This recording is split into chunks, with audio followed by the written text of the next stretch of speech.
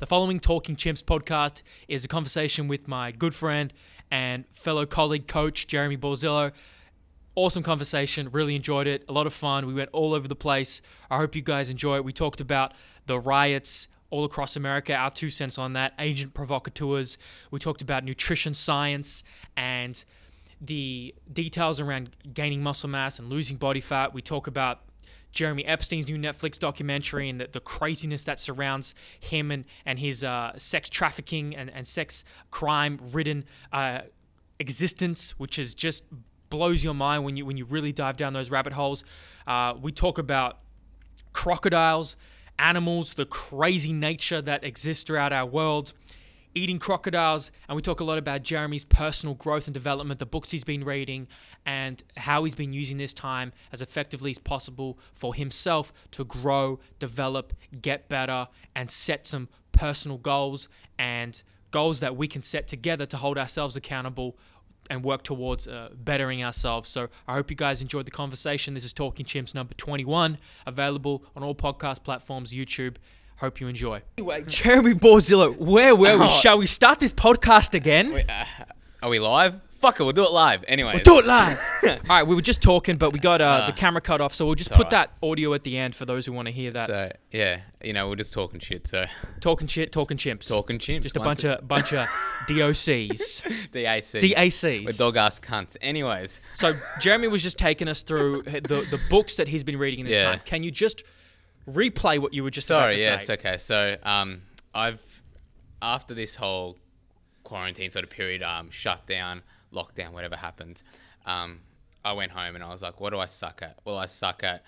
Uh, in terms of reading, I'm not. I don't feel I'm very well cultured in terms of that sort of stuff. So in terms of what I've been reading a lot more about is stoicism and just like being a better human because we're talking about human first, athlete second in terms of you know projecting pretty much good vibes into the world, if you will. So um, one of the stuff that and on the stoicism, I've been doing that because I've been um, listening to a lot of the live calls that Dr. Pete, Dr. Pete Coleman from the um, Strength Culture. So Strength Culture been putting out some um, some chats, if you will, on mindset and just like you know how to sort of survive during this lockdown period. There's no and you can also if you know mental health wise you can also if you just want to you know chill for a week you can chill for a week if you want to just you know if you want to work as fucking hard as you can we'll go for it but it's like there's no one way how you should feel during this time mm. how you we're, we're in the middle of a fucking pandemic like jesus christ no we will not experience this again like in terms of this this okay so over, You know my I, thoughts I on know this. your thoughts on this and it's and I- he sees my face and he knows. Oh, hold on. no, Go what on. I mean by that is like we're not going to be under this amount of fucking duress, this amount of stress in terms. Like there's obviously with all the sorts of stuff that are going to come every five ten years in terms of like little mini waves, but not this amount. Where But it might. But Um, how can you say that so certainly? I can't say it so certainly, but it's what I believe. Like, I, but I can't say it as a matter of fact. Yeah. Because who the fuck knows? right. That Um, that's the answer. Who knows? Yeah, but anyway, so I've been reading the Daily Stoic, um, and it's so it says 366 meditation on wisdom, um, perseverance, and the art of living, and it's I read this um, every morning. So my morning routine is usually I'll just get up, um, go for a walk, uh, probably three to four, so about a couple of k's, and then just read uh, this, and it's a lot on like problem solving, on mindset, and just like being sort of the best human you can be in terms of Mm. sort of stuff. Oh, give us the way I can have a look. Yeah, I might I might read some Uh, passages. yeah, so something. So Ryan Holiday's um pretty solid. I'm reading his um. smell of a new book. Am I the only one who likes that? No, I, I I I like um I like good smells and I like the new book smell. uh, you can interpret that any way you want, but uh, I like it. Anyways, um, yeah. So I've just been reading that. I've also been one of the big ones as well, and I've already read it recently. Is um the Resilience Project by Hugh van Cuylenburg. What? and this is one that um Wow. Amy sort of I'll give that to you. So I was one. No, I just saw this book. Uh, Yeah. my girlfriend just got this book. oh, did she? Yes. So there you Ah. go. I, I thought this was just some random book, but apparently Yeah, Carrie will love it. That's it's going around now. So basically, um, with the Resilience Project, it focuses on gratitude, empathy, and mindfulness. So a lot of with gyms shutting down and everyone sort of a lot of people being out of income, if you will, it's hard to forget the the good things in life, and you or and you go around and you just like you take for granted a lot of things. And I'm not someone that's going to be like, you know, fuck this. You know, I, I'm just like, I'm trying to explain. Uh, sorry, I just That's was okay. trying to Take your time. In terms of this, like, I'm very grateful. In terms of reading this book, I'm very grateful for what I've got. So, a lot of things I wasn't grateful for in terms of like, I get to go for a run. I get to you know experience nature. I think going outdoors and experience the great beyond and just seeing everything as it is, it's just fucking brilliant. So. Um, that's been one of the great things that I've um, sussed from that as well. So you've read this, the Resilience Yeah, read it all. So what's what's the kind of takeaway you were just saying? um, be gr- be grateful for a lot of things you have Yeah. because there's a lot of things that other people don't. So for where uh, we're trying to look at you know other people's in like war torn countries, looking at people in Iraq, looking at um, homeless people in India. It's like, and that's where Hugh um, went when he was younger. And what's um, the resilience project is based on as well, which I don't want to give too much away. Like you can read the book, but But you know, you know what's interesting about that is I think often you need to actually go to these places. You need to travel to get perspective. Like I don't sometimes reading a book, you get that, oh, okay, you understand it, like you empathize with it, but you don't really internalize it. the only time I've ever gone to a homeless-ish, um, low socioeconomic sort of place in terms of um, with this sort of stuff has been Fiji when I was ten, and I went to a school. That's the only time I've been overseas, but I went to a school where it was that sort of stuff where um, the kids were very poor, and some of the greatest joys in life they had was just like you know going to school and just enjoying that. So yeah, I I'll have more thoughts as they come to me in terms of with For that, so I can put that on you know Instagram, just like you know a story or whatever. But uh, yeah, so that's been a really good book as well. Uh, this is this is a fun one, so I've just reading that. So um, Read it out for the the people Chris Judd, the Chris Judd autobiography. So this is more of a fun one for me. So um, Chris Judd's an AFL player. So for our American listeners, uh, Australian Football League player, and or New South Wales people as well. Uh, so Victorians will love him. So he used to play um, for West Coast and Carlton. So Carlton, I barrack for, so he played for them. And yeah, he's his sort of work ethic, and I'll show you that as well. I don't know if you want to look at that as well, but um, A, I don't. a nice portrait. Yeah. So he, and his in terms of his sort of um, outlook on the world and just like his training and stuff, and he works very hard in training. Just yeah, I like the book. Anyways, another one as well, which was mentioned on this podcast, uh, Relent- Relentless by Tim Grover. So I remember. Uh, I, this was recommended to me by former guest of the podcast, Ethan Wilson, and then you and Jay were talking about it as well in the um, Last Dance sort of chats as well.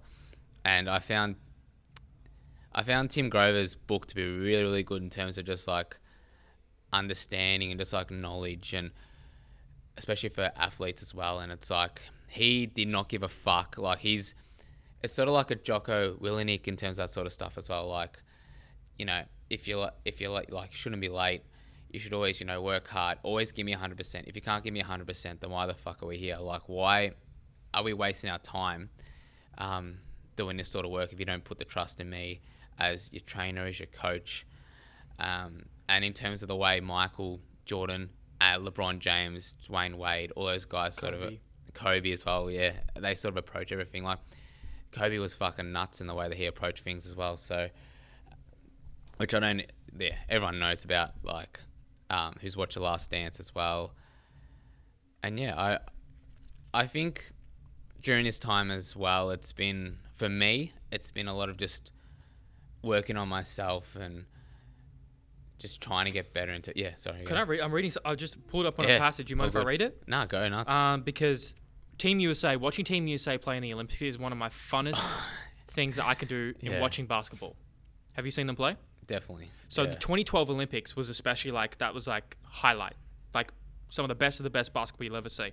2012 Olympics, as Team USA played Australia, Kobe was having a surprisingly weak first half. It happens. Player has something else on their mind; they just feel off. They can't get focused for whatever reason. Most guys who start a game that fini- that way finish even worse. But the greats can recognize they need to turn it around, and that's what Kobe did, hitting four three pointers in just over a minute. leading the Americans to 119 to 86 victory, just searching for something to activate the Black Mamba, which was his uh, alter ego nickname, Yeah. for those who don't know. He said after the game, just finding his way back into the zone. Michael was the only player I've ever known who was completely in the zone every time he played. Always a cleaner. Even in games where he'd cruise a little, it would eventually come out. I recall one night in Vancouver during the Bulls' 72 win season, everyone was tired from the long annual November road trip, and it was a rare game when the Bulls were getting killed. But the fourth quarter, Michael had only 10 points, and the Grizzlies' Darrick Martin started talking a little trash at him. You never ever challenge Michael Jordan and expect to come out ahead. Michael literally stopped on the court, looked at the guy, shook his head, and said, Let a sleeping dog lie. The dark side said, Kill this motherfucker, and he went into the attack mode, straight into the zone. Result unstoppable. He went on unbelievable Terry score, scoring 19 points in the quarter on the way to a Bulls win, and Darrick Martin spent the rest of the game on the bench. Shut your mouth, Darrick Martin. Shut your fucking mouth, man. Damn, that's nice. win is win.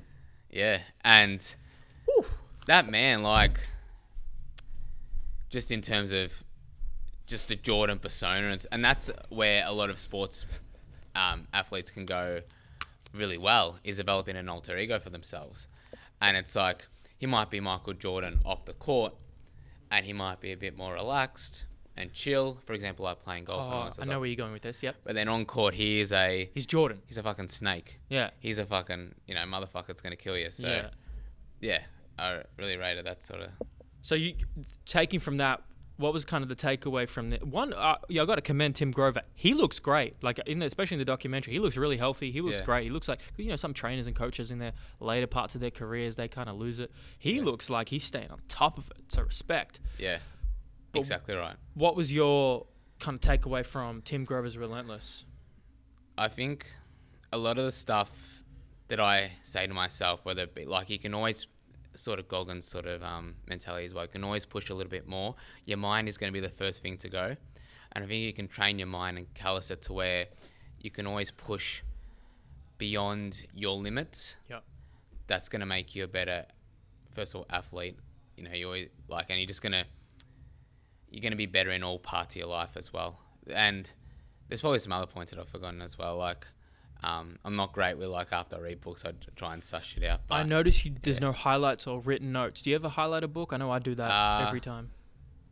No, I probably should. Uh, I'd recommend it. yeah, I had, which is why I probably I blank out sometimes in certain things. Like, a, yeah, that might be something I have to Well, th- the reason I encourage that as well is because look, I think it's amazing that you're where people are reading, they're constantly trying to absorb knowledge, but like knowledge is only useful if it's applied. And so yes, now Yeah. I think that's why highlighting, taking notes, because you can pull parts and then it's like, all right, I'm going to use this information. These are the best parts that I need to now take action with. Because I think we can get caught up in just reading and absorbing knowledge. I know I have, and I think I'm doing something productive, but really I'm just like mentally masturbating, you know, Yes, to, to, to, yes. to the new information. And so, yeah, that's that's what I find resourceful. No, it's a great point. Work is just fucking. I like. I used to even around here as well. Like, I used to just work to work, and it's like, oh, like, um, like Brett Buffalo was talking about in with you. It's like you can go, okay, I'm gonna work from fucking six a.m. to six p.m. You know, I'm gonna coach every single person here. I'm gonna train. I'm gonna show you motherfuckers who the top dog is. And it's like, well, what did you actually do? Like, and then you might go home and you might, you know, read some research and then you're done. But you don't do like you'll coach here, but then other than that, like, what the fuck do you do? Like, how else are you bettering yourself in terms of everyday life? And that was pretty much my life. Like, still, still is like, apart from obviously the pandemic, but still is. It's like that's a lot of what I do, which is fine because I needed it. But yeah, that's something I'd probably consider coming forward, come back here, would be more trying to steer away, still focusing on S and C, but focusing on other points of life as well and other sorts of Absolutely. endeavors. So and you're doing it, man. Like Yeah. philosophy, stoicism. and then yeah, try my best. Try my best. Like I understand I'll never be like. For example, I listened to the Ivan podcast, and that was very, very deep in terms of his sorts of um, understandings and a lot of spirituality that he was talking about as well. I'll never be like that. So, if I can be, you know, somewhat in tune with my feelings, my thoughts, emotions, Why do you say you never be like that? I mean, it doesn't. I- Really, I what don't do- know, just- depends. What do you want? Yeah, Right. I- Who I've- you want to be? yeah i don't know just i don't i don't feel like i'd like to have a basic grasp of it but in terms of who knows i might go in deep and just you know suss it out and yeah i don't know Well, it obviously doesn't sound like it really speaks to you on that deep of a level. Like it's important to you, but it's not as important to you to go on a 30 day fast to get closer to God. yeah Right, that which i found very that was fucking awesome it's, it's good to hear like he's pushing the limits of the human body i guess so, yeah, absolutely. What do you got here? There's the last one. And then the four agreements, which was mentioned by Casey Drill on this podcast as well, which goes into Stoicism as well. And yes, I'll read the, f- the four laws. So be impeccable with your word, don't take anything personally, don't make assumptions, and always do your best. And I think during this time, um, don't, especially with me as well, not taking anything personally in terms of what, uh, not that I've had anyone really say anything bad really during this time to me, but not take so you know some people try and give a lot of constructive criticisms, and what I'd do in the past is I'd shut down when people would try and offer me criticism, and then I li- and now it's a little bit better where like I'm taking on board what people are saying, but I'd always take it as like a personal attack. So I think Yeah. it's what's good now is like I'm taking you know taking it more in my stride and just like you know Why did you think you took it as a personal attack in the past? I don't know. It's just how I am. Like I just take, I just take shit personally. Like it's just, I don't know what sort of trait leads me to that. Um, because I'm a bit of an emotional person in that regard. But yeah, I mean, I mean, I'm just too emotional and that sort of thing as well. And it's like, I can't, I couldn't take people saying, you know, you could have done this better and stuff. I'm like, no, no, no, I'm doing this, you know, great and stuff like that, which I wasn't. But Yeah. I don't. Uh, you, you call yourself like not that emotional. Well, no, sorry. You say you're an emotional person. I don't see you express that much emotion. When do you? When do you do it? When when do you become emotional? It's I I don't know. It's not. It's not around.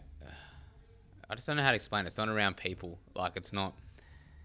You know, it might be at home. It just might be like chilling and stuff like that. Like I think, unless I know people personally, unless I like, you know, have a good um, rapport with them and connection, I just am very, you know, off. Like I don't really show a lot of emotion, but when you know everyone's around, I show a lot of emotion. So yeah, I, I don't know. It's just yeah. Anyways, We're diving in. It's like you, Yeah. you got to figure out who you are. it's my internal monologue, but I Yeah. I just yeah It's like you, your internal monologue. Your the talk between your ears. The self talk might be emotional, but extrinsically you might not express that. yeah exactly. And that yeah, and this might be this might be another thing for another podcast, but yeah. Anyways, so and then just yeah, being impeccable with my word, just saying a lot less shit, which probably didn't explain the last minute of, that, of the podcast.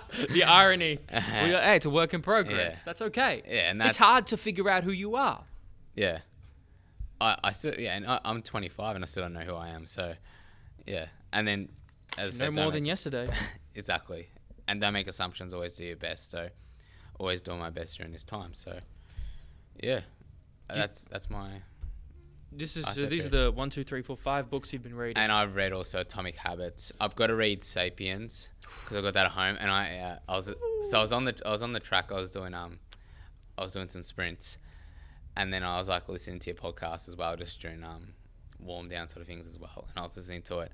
And you were talking about *Sapiens*, and I got the recommendation from um Charlie, and he was like talking about it, and I was like, oh, okay, cool. So then I just bought it, had a look at it.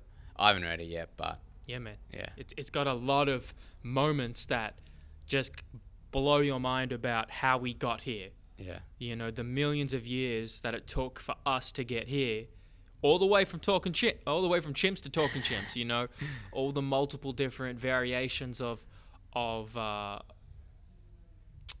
sapiens.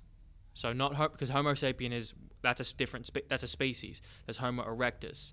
There's Neanderthals. There's Homo f- uh, florientus, which were these like dwarf-like creatures that got uh, starved and put and they were on an island, and so they just constantly shrunk and got smaller and smaller through the generations they lived. And um, you know, you don't really think that you think we're the only thing. No, there was like half a dozen other sapien uh, species before us and how important like the advent of uh, modern agriculture and like going from hunter gatherers to, to farmers. Like that was probably one of the most important changes in human civilization to like rap making our progression much more rapid and, and just changing it because now we stay in one place and like the advent of, of grain and wheat and how that how that was so important for um, just the progression it's hard to remember or I, I want to do you know video essays and book summaries on that um, maybe I will one day but it just takes so much time but it's it's you're gonna love it I hope you love it Yeah, and I've I watched um how to win friends and influence people. I was watching a bit of that in your um uh, YouTube channel as well. ah. Shout out Alexander Sandalis on YouTube. Anyways, it's, uh, not, it's not it's not that anymore though oh yeah, Alexander Emmanual. that's Sorry. but yeah, I I was because I've read that as well during this time. So I was um yeah, and I was I've read it. Sorry, read. I listened to I listened to the first two. So the first two chapters you were talking about. yeah Um, and yeah, I, I reckon that book should be read a lot. Uh, well, I've only read it once. Probably read it again, in terms of just like being a better person to people and being able to relate, being able to make friends in this, well, in this industry, but like in all walks of life as well. Just being kind to everyone, which is a big thing during this time as well. yeah man And yeah, You forget that. You're like, everybody is going through something. We don't know Yeah. about it. We just let's be a little kinder to each other. Smile when you walk. I mean, it's like people. I don't know. I think people want to feel like they're doing something productive for the world for, for these causes, these important causes, global Yeah. warming, activism, uh, discrimination, this, that. Um, and so they want to bring awareness to an issue. Let's post about it on social. Cool, great.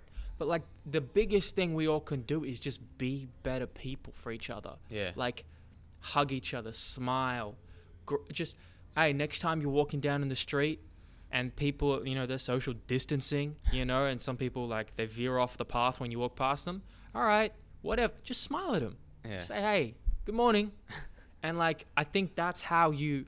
I, I think we we underestimate the power of small gestures and interactions that we can have with each other because they can just spark your mood. It's like, oh, I'm not alone. It's like there's another, you know, people like they feel alone, they feel isolated. Like, just look up when you go for a walk. Just greet that person. That's all you need to do. You don't need to talk to them. You don't need to get uncomfortable.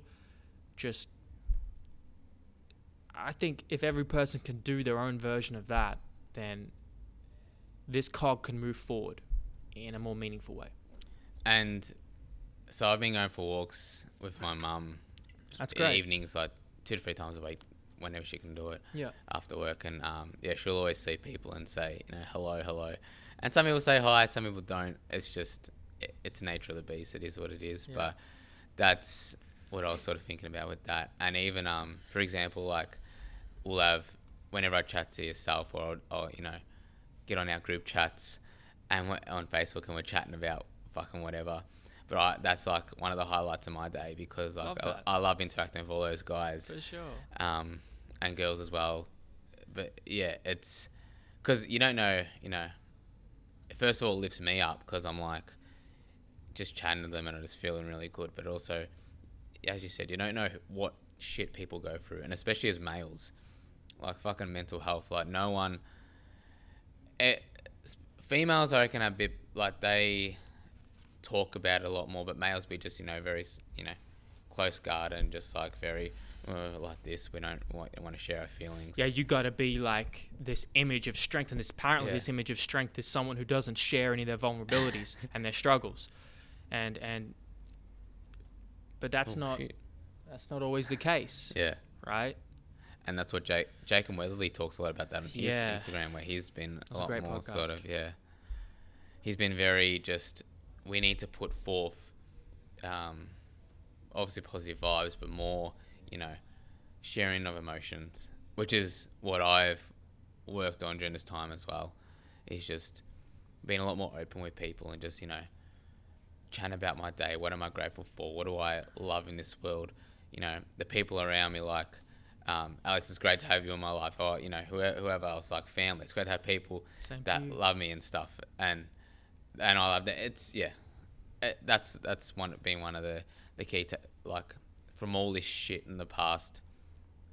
Or six months, fuck, it's been a shit year in terms of all the shit that's been going on. But the good takeaway is that um, we're all not alone, and the fact that we can all band together and be as one in periods of crisis, in periods of injustice, a lot of other shit like that. It's fucking cool to see, and and I would always worry about uh, on the point of like people, you know, saying shit to me. Like I would always worry about that, and now it's almost like I don't really care if people have a negative sort of thought about me as well, because I'd always try so hard to try and be well liked by everyone Right. but you can be the nicest person, but there's always going to be people that don't fucking like you just cause. So, you know, I've got I've got a great life. I've got you know great friends around me. Uh, I've got a great job. So, So- you you- you're trying to find the good, Yeah, something you can, the good you have, expressing gratitude towards that. Yeah. So you don't have to focus on what you don't have. exactly. I don't not have a lot of like I don't have a ton of shit which I wish I had. Like I've pretty much got a lot of great things in my life. So, oh sorry, yeah. No, no, that's fine. Um, yeah.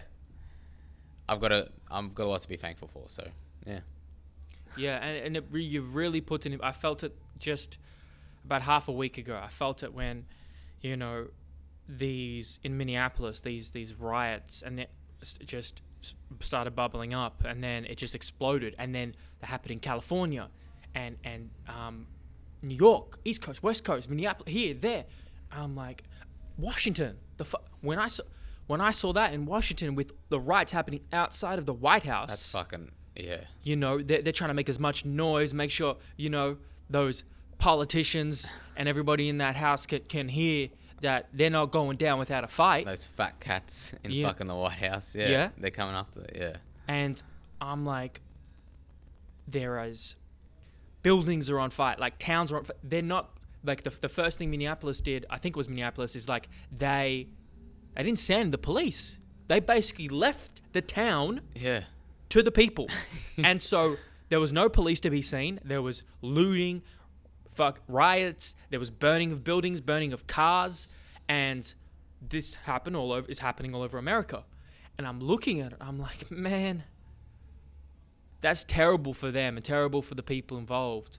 But it's just an opportunity to like look outside. None of that is happening right here where we are Yeah. Hundred percent. Yeah. like it could be a lot worse you this this building we're in this is a business right? There have been i would estimate dozens maybe hundreds of people's businesses who already struggling from the pandemic who have had their business broken into looted or burnt down because of this situation and they come to their store the next day and everything they worked for for years and years and years is gone and now they have to figure out a way to get their shit together to rebuild or to just give up hope entirely. And that like i saw this one video of the of this african american gentleman who uh he, he made that comment. I worked all my life for this. I i and now it's and it's gone. And it's like his why why does why is he getting why does he bear the consequences for someone else's actions that had nothing to do with him why does he no longer get to have his business and feed his family and have his livelihood anymore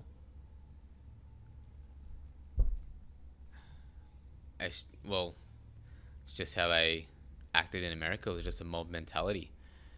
And I think if you're gonna leave the decisions to the people, and you're all right, well, guys, you fend for yourselves. You do the, you know, we're not, we're not bringing the police in.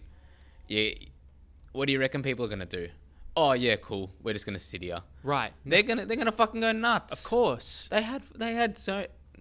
have you have, i don't know how much attention have you paid to it Uh, oh, not. I honestly have not paid.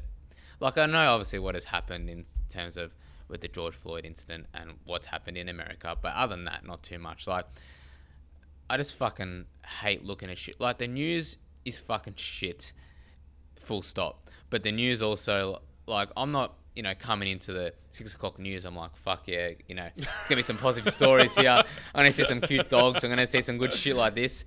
I'm coming in. Hang on, there's fucking fires. Oh, hang on, you know, um, there's been a, a death, you know, racial of a, of a racial sort of nature. Oh shit, there's like fucking, you know, things burning down. As you said, looters. There's all this shit going on, and that's supposed to make me happy. That's not making me fucking happy. It's making me sad. So that's why I haven't, uh, I haven't paid too much attention in terms of that. Like I get down, like even during the coronavirus, and I think Jay, um, Mr. J, I was talking about this as well. You would always see with the coronavirus, it'd always be fucking red, and every time they Yeah, go yeah. to, it'd always be red, Yeah. red, red. So what I'm feeling shit. I'm feeling like you know, I'm feeling like oh fuck, fuck this shit, this you know coronavirus. Um, and yeah, it's just Well, let's talk. Give some context. Red because it's an emotive, emotional sorry. color that stimulates the sympathetic nervous system, and um, actually, there's been studies on like people dressed in, dressing in red being more perceived as more attractive, um, which I've seen before. Uh, not that that's too related, but no, it's interesting. Just- yeah. yeah, no, no, it's all good. interesting. Um, But I, I think it's it's very fucking hypocritical from the American people because it's like what is? so with this man dying, Yeah. it should be more towards a peaceful sort of protest. So why would you let his death be in vain? And first of all, first of all, all this coronavirus shit, like so they they've been obviously this pan- pandemic has been going on. They're like, oh, you have to stay, you know, however many feet away, and they've had restrictions over there lifted. But then they're all like fucking close together. Oh. So uh, you dumb fucks, you dumb shits, because you're basically they're The way you said that. uh, that, I listen to a lot of the Chris D'Elia podcasts. That's he. He goes, you're boring and you're shit, but also, um, yeah, with those guys, like, But they don't care. They, they, don't have care. a they have a bigger cause to fight for right Yeah. now than than some restrictions. And I understand there was a senseless killing, but why are the people are not going to listen to you if you're going in, you're looting the place, and you're causing destruction, and you're doing all this, and it's not like it's hunky dory here in Australia. We've had our own issues with the Aboriginals, um, in terms of how they've been treated. So it's not like where Australia's going, oh yeah, clean fucking slate around here, but I just reckon Look, I can say this they should have probably gone about it a better way, but how we don't know. Hindsight's a wonderful thing. They might have thought in the moment, all right, fuck, we're just going to come in and start causing some shit, and maybe someone can hear us. You said something about 30 seconds ago that I wanted to comment on. Um, do you do you can you just recite what you'd said about 30 seconds ago, 45 seconds ago? I'd have to go to the. T- you have to go to the no because you you made a mention of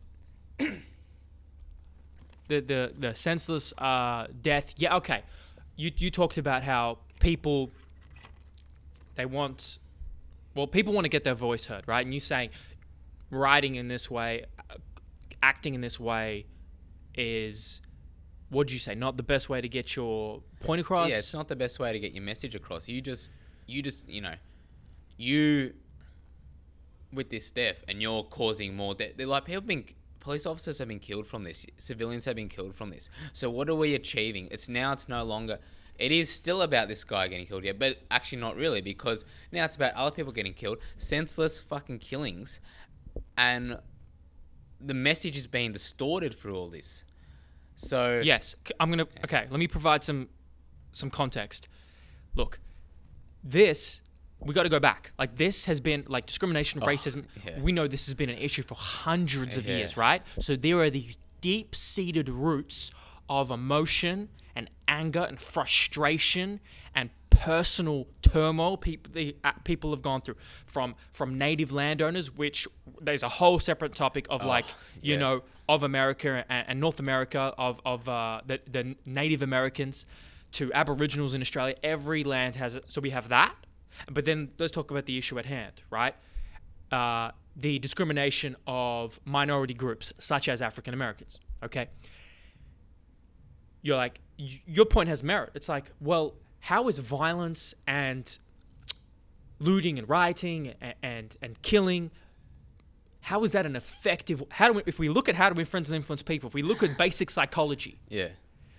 one would say if you want to have and you want to convince somebody of your point of view that is an ineffective way to do that. However when you have a group of people who have been persecuted and feel like they are they've lost hope because they have tried and tried and tried again to uh, protest peacefully and let's let that be known there's actual there's plenty of peaceful protests going on Yeah. right it's not Oh all- no, I'm not saying it's just you know everyone's going nuts. Like there is still stuff going on. Yeah. So Cool. So, time and time again, these things have happened, right? This is like, it's been in the media for decades. Like, every year or so, there'll be like a famous um, death of a, there'll be like an infamous death of, of, a, of a black or minority individual, okay? Colin, Ka- uh, was it Colin uh, Kaepernick who 2016. Yeah. He na- he kneeled during the national anthem. Right. There's some sh- so kneel during the national anthem to to represent and fight for what he believed in. Right.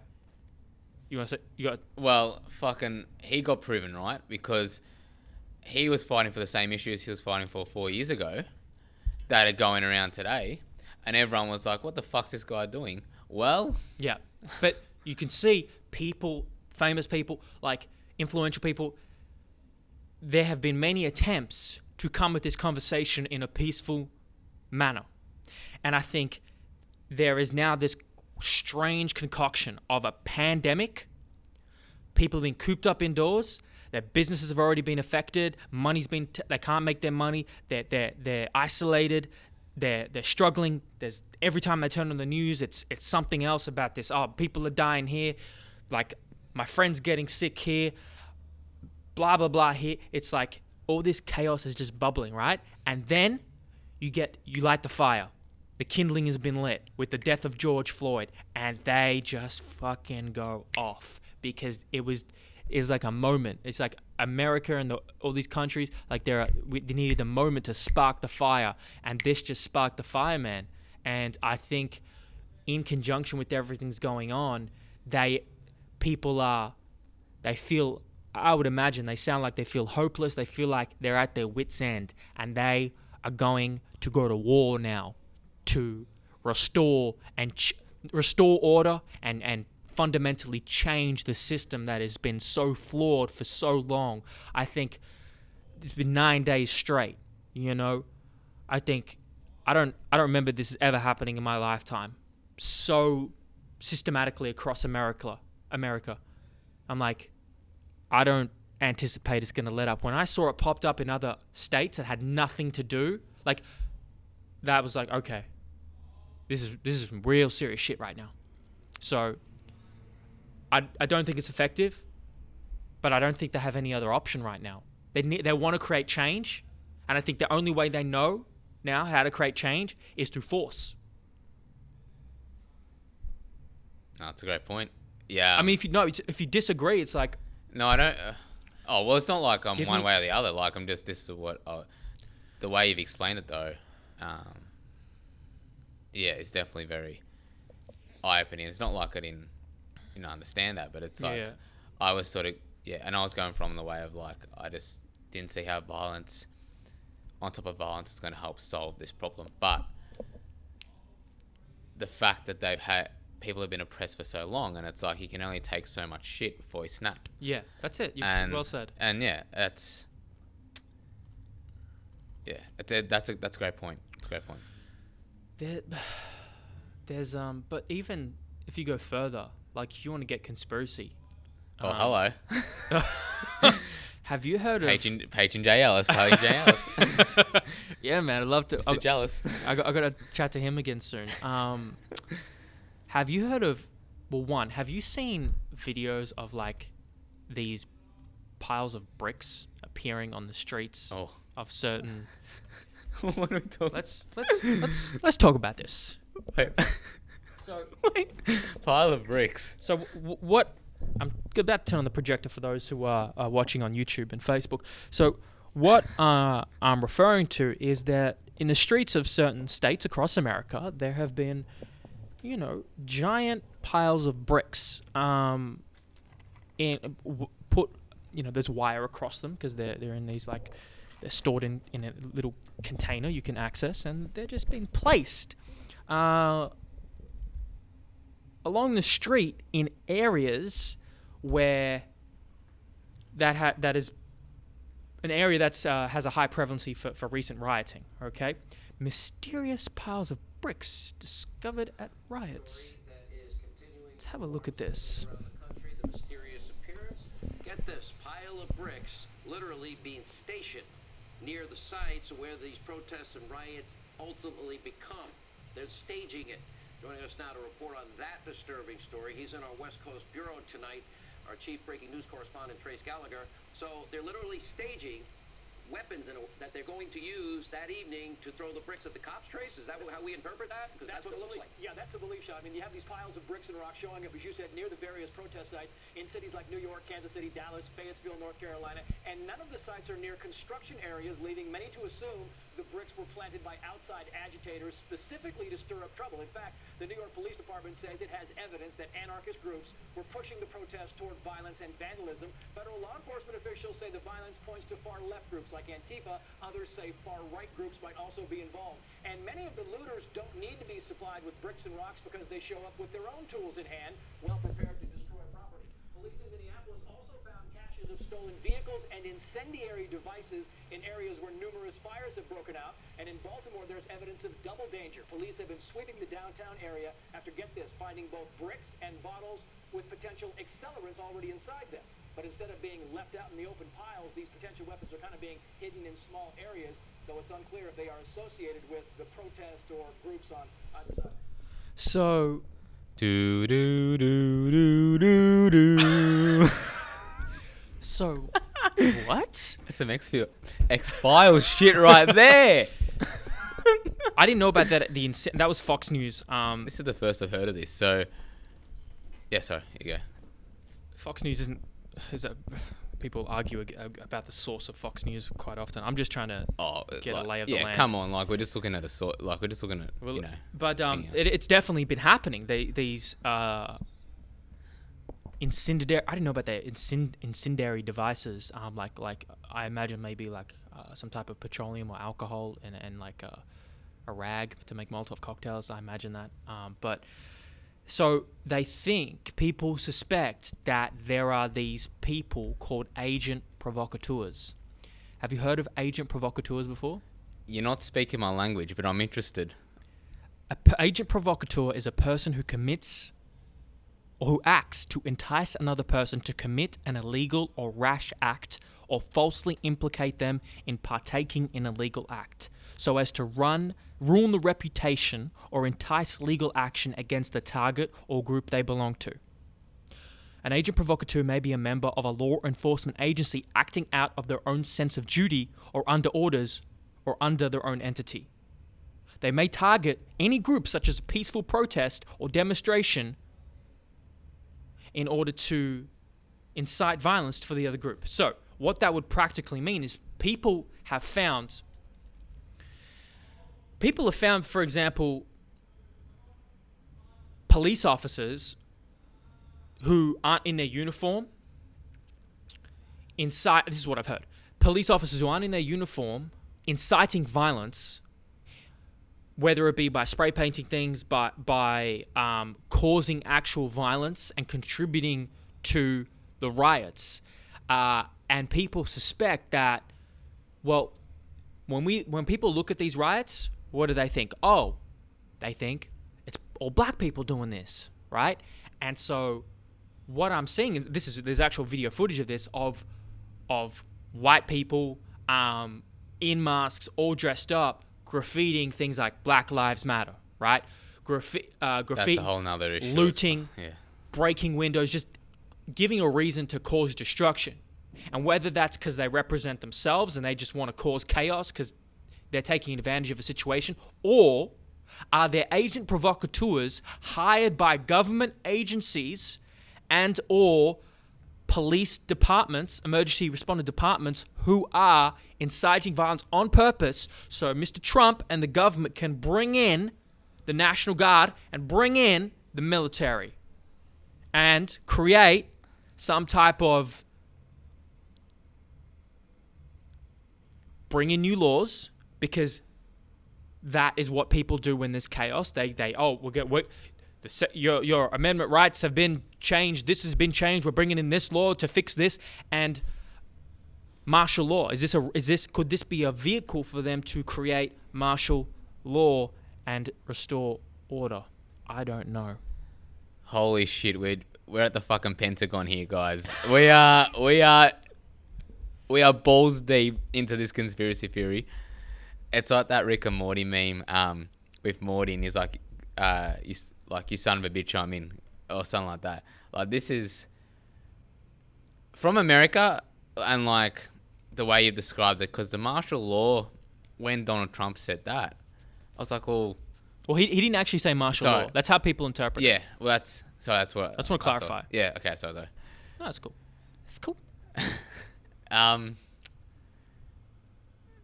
who knows? Yeah, time's gonna tell. But I reckon, I reckon we're we might be onto something here. Well, I don't know if you know, but they have curfews. Yeah, California definitely. has curfews. Yeah, I think it's like 6 p.m. till 5 a.m. It's like, can you can you imagine? Like, I'm just, when I heard that, I'm like, man, we are lucky. I don't have to worry about no curfews out here. yeah. I can walk at fucking eight p.m. if I want to around here. Like not around here because I don't live around here, but um, well, that's back to gratitude as well. Just like Yes, it we we have got a lot of things, like. And then people are like, oh, the Australian government's fucking shit. Oh, it does this. It's like, well, you go live in fucking America at this time. You go put your put your fucking ass down there for a month, and then see how it is. Then we'll talk. Yeah, exactly. Like we're fine here, but yeah, See, there's there's peaceful stuff going on, um, but people are taking advantage of. They're using this chaos. Just hearing this humming. They're using this chaos as an excuse to cause violence. Like people not even related to the, you know, you, you look at the, the footage of all this stuff that's happening and you realize that, well, human beings just take advantage of shit situations. And so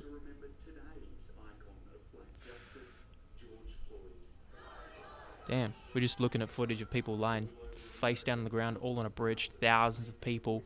Um, and so, you know, this is what's beautiful. Yeah. Like, there's moments where, where African Americans and, and minority groups will be hand in hand, arm in arm with police officers, right?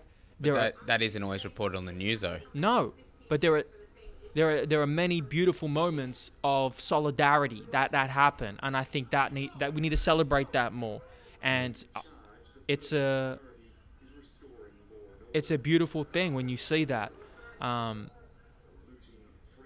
but people want to take advantage. Cuomo. People want to take advantage of these situations, and when they see chaos, they're going to start looting. And people who don't even necessarily even really care about the issue, like if you're desperate and you're just going to join in the, on the chaos, right? and which is why people fucking putting bricks out is going to cause more shit. So Who put the bricks there? I don't. Is it is it art? it, Well, they uh, someone knows Trump, so it, it's all. It, it all doesn't happen by chance in America. I'll say that. There's always a method look to at the this. madness. The presidential motorcades driving past, and just people are just screaming. You know what? What Well, well, was Epstein was Epstein killed? Did he suicide himself? Bro, Have you started watching that Netflix documentary? No, but I probably got it now. But he had a f- Jesus. I did not realize he had like a a ring of like he ran a pyramid scheme Oh. for for these young underage girls. he was a he, he was a dirty fuck, a dirty fucking pedophile. He would, and he would um, he would groom these girls as well. I think as well. I've, He I- would. The, yeah. the, the the girls who were especially especially desperate They would. Yeah. He would play on their insecurities and the fact they needed money, and a lot of them came from like troubled trauma background. And he would he would kind of he would use them, but he would do it in a, an intelligent, manipulative way, where he'd be like, "Oh, if you can get another girl to come to me, I'll give you two hundred dollars." Yeah. So he, he, he gave girls two hundred dollars to massage him. Massa- that's how it all started. Okay, so they massaged him. Yeah. The girls walked in. It's the same every time. He was on his back, naked, but he was on his back, so you couldn't see anything. The girls like, "Oh, this is pretty weird, but all right, whatever." They're all underage, so their brain is barely formed, so they barely can like uh, comprehend and have the strength and resolve to, to say no because they're still so young. And so they go in. He's on. He's he's face down. And for those who don't know, Jeffrey Epstein, he was a teacher. He he he. Um, in a university who actually lied about never actually got a college degree. He never actually Oh, got a college really? degree. He manipulated and lied his way into it. And when he got caught out, he was able to be so kind of clever with his words. They kept him on and the guy who kept him on said it was, one of my biggest kind of regrets of my life is that I I uh, let Jeffrey, Jeffrey Epstein keep his position. So Jeffrey Epstein then got into finance. He made a lot of people trusted him with his money. He made a gargantuan amount of money. He was one of the wealthiest, mysterious men in America. Right? He owned an island. He he. Yeah, what you gonna say? Well, he took those said girls to that island, and a certain royal family member who is not a royal family member Who? anymore, Who? Prince Andrew. Did Prince Andrew go? I s- Is Prince? Oh I don't know. I didn't know that. this might be a real sort of rumor mill. I can't remember where I saw it, but I, I believe he's out of the royal family. just I don't even I don't care I don't really pay attention to the royal family, but just to hear some corruption in there is like doesn't surprise me. But Oh. um, Well, yeah, there's probably shit, you know, going down there as well. The queen, the queen and um, Prince Philip, the racist fuck, like they're not gonna, you know. is he racist? I don't know. Why is he racist? Oh, he's just, from what I've seen, he's a bit of a, you know, well, but he's also fucking ninety, fucking thousand years old as well. So, So we're just trying to find the un- un- uncover the troubling connection to Jeffrey Epstein. I'm doing a lot of unsourced sort of claims here. I'm just saying shit just to say. Well, we're pulling it up. Here it is. Uh, it's it's on townandcountymag.com. I'm sure Pull it that's up, a reputable. Jamie. Jesus Christ. Pull it up. if anyone wants to uh, volunteer um, for uh, y- your position as my young Jamie, uh, just email youngjamie at gmail.com. um, Yeah, like. Oh, Do you want me to keep telling you about the yeah. Sorry. the yeah. situa- You should watch it, man. It's I didn't expect to be pulled into it, but Oh, I mean, oh, oh, they're reeling me like a fish. I'm coming in. dangling on the hook. so he becomes this like billionaire guy, right? Kind of low key, goes to parties. He's like, he's always seen with like girls who are underage and like younger. He has a proclivity towards them. All right, cool. He likes young women, but he likes them super young. So like, okay, that's fucking weird. That's not that's not right. All right, let me keep telling the story. So he's got a lot of money. He's got a lot of power and influence. Okay, and when you mix those two, they come together, right? He knows a lot of powerful people. He knows Bill Clinton. Um, he's seen with guys like Trump. They were they were friendly. Trump is actually quoted. Oh, Trump has this really weird quote about Jeffrey Epstein liking young girls, and then um, Trump kind of agreeing with him. I'm like, here we go. He was Joe Biden acts like that as well. He's a he's he's a bit of a. Uh, God, look how unhealthy even Trump looked back then. He just looked bad. Just, but you know what? He's successful in his own way. So, um, I've known Jeffrey for 15 years. Donald Trump says he's a lot of fun to be with. It is even said that he likes beautiful women as much as I do, and many of them are on the younger side. he talks as he tweets. He, he tweets the same fucking way. this guy. Well, at least he's consistent. yeah, like he, the the way Trump tweets, it's like fucking. he just. Oh, anyways, back to this. Well, yeah. Well, he's definitely. And this is also how I was made aware of this sort of stuff as well is I believe through Eddie Bravo on the Joe Rogan podcast. I believe he might have gone into this as well in terms of with this sort of stuff. And is Eddie the most reputable source? Probably not, but I like hearing my information from him because he says it's funny. Uh, he's he's probably got shit on like from what I've read, and I can't tell you my sources. Like just literally on the internet, just looking around. No, you, you can't tell them because they're secret. Let's just say I've got people in high places. Ah, yes. no, anyways, like, oh, uh, oh, hello, Alex Jones. Oh, I've pricked up now. I just, I just want to know his take on these things, um, because he's been so censored. There we go. Yeah. I'll find him. Ep- Don't you worry. Epstein was fucking running a pedophile ring. Okay, let, let's let's The talk about facts. the Clintons were in on it, and it's all uh, it all fuck. it's all like a, you know, a big fucking whirlpool. He Epstein had shit on the Clintons because why else would Epstein be killed in a fucking jail cell? you think he had shit on the Clintons? And he had he had marks on his neck, I believe, um, asphyxiation or something like that, where he he oh that it made it look like he was strangled, yeah, right? He was, yeah, it was.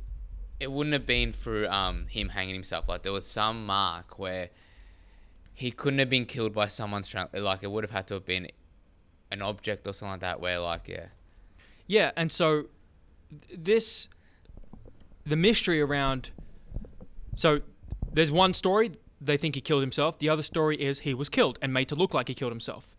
God damn, we see that use yes, we, you can see that I'm using ad blocker. Why would I want to see ads? well it's like when fucking um Michael Jackson that whole documentary came out and it was like, you know, did he touch these kids or was it you know those people sort of embellishing the story and or he didn't actually do it. What do you make of it? Uh the first time I watched it, I I haven't seen it. yeah.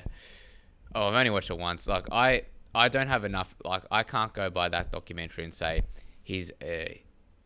Can you see this? I said sorry. I don't mean to interrupt No, you, it's- but it's it just I just disabled my ad blocker so I could see the site. And we're looking at the screen, and half the screen is covered in ads. I cannot read the fucking article. Do do do do. They're out there, man. I have to click the X, the X. C O conspiracy, conspiracy. That's what it is. They they do not want you to see this information. Jesus. Oh, here we go. Wait, wait. Whoa. All right. Oh God, look at this. Just horrendous. these fucks do not want you to see this information. okay.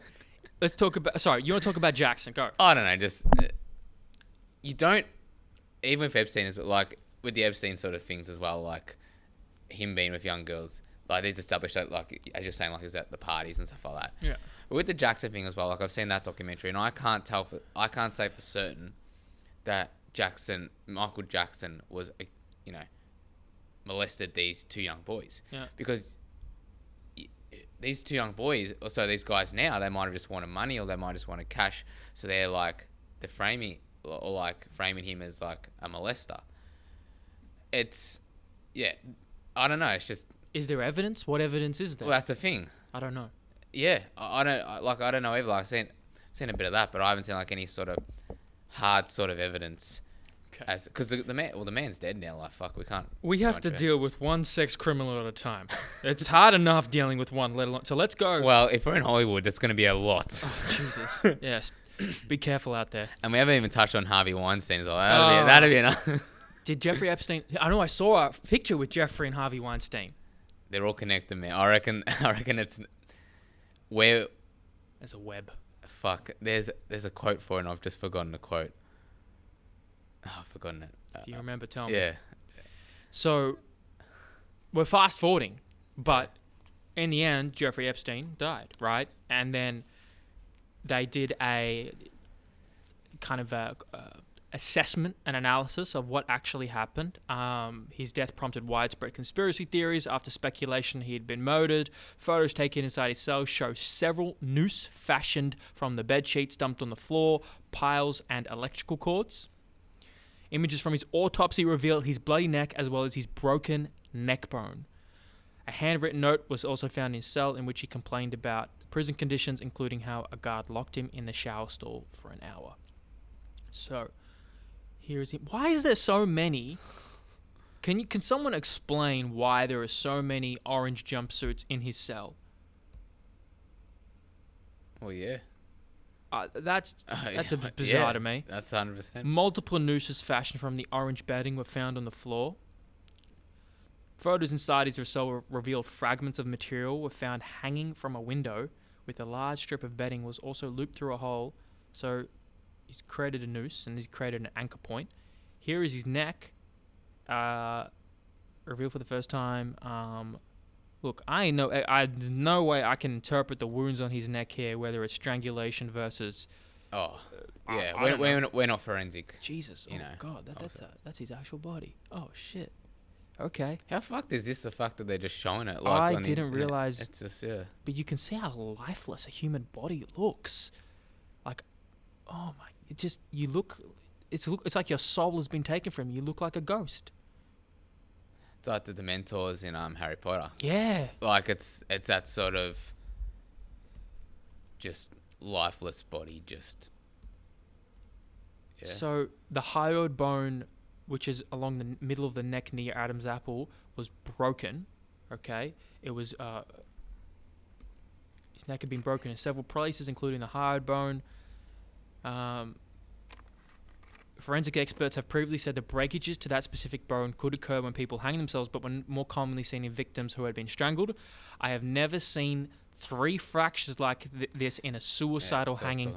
Dr. Baden told 60 Minutes, going over a thousand jail hanging suicides in New York State state prisons for over the past 40 to 50 years. No one had three fractures. Isn't it nuts as well uh, that Rogan on his podcast was literally saying about how Epstein was killed? Epstein was um the fact that like no, first of all no one came for Rogan, which I think When he said what? well he was saying about how Epstein didn't kill himself. So he's like saying this repeatedly on his podcast as well. And it was like yeah, I just I, I just found it very interesting like the fact that like there is a lot of shit that we don't know about that's going on Oh, yeah. and you know yeah it's it's it's honestly mind-blowing like the fact some of this shit like But these documentaries and, and, and the, this anarchy and chaos in the world, there's like this layer of. i- i- It's like a. How do I say? It's like most people have rose colored glasses on, right? It's like they see the world for what they want instead of what it really is, okay? And so they have. It's like they got their blue blocker glasses on. Everything's. You can't see all the blue light, right? Everything's a bit better. It's a bit lower light, right? But then you take them off, and then you see everything's so bright, and it's you see it for really what it is, and the layers and veneer of society starts revealing itself through these events, through these, through pandemics, through riots, through death, through life, and you're just like, wow, we're just talking chimps. oh. Anyways um back to our ads uh Ah, yes. If you like the We're- news and showbiz, you'll love News It. That's Dr. Baden. Sorry, that could have gone into an ad read right oh fuck So, look, I don't know the veracity of Dr. Baden's statement, but let's just take it for what it is. the man's seen so many fucking killings if like that's true, that's a fucking lot of hangings, man. How many people hang themselves in and jail? how and how fucking mentally as well like the for example being like a forensic forensic officer or someone who has to deal with uh, like being at a morgue. Yeah. like that would that scares the fucking bejesus out of me like seeing like it's just life like obviously.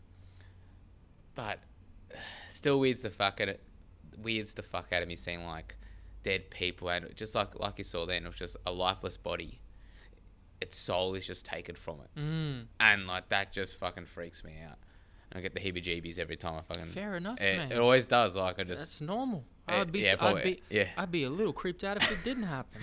Silence of the Lambs you know, of uh, if you'd just been shoveling dead bodies every weekend without us knowing. Hannibal Lecter sort of stuff There's people like that. People you don't. People. Damn, you did that too well. Yeah. Anyways. Anyways, let's move on. let's not talk about my weekend habits. so, 40 to 50 years, never seen a hanging like this. Dr. Baden said the injuries on his body also showed contusions on both wrists, muscle hemorrhaging in his left shoulder, and an abrasion on his left arm. Epstein also had a cut in his lip, and burst capillaries on his face, mouth, and eyes.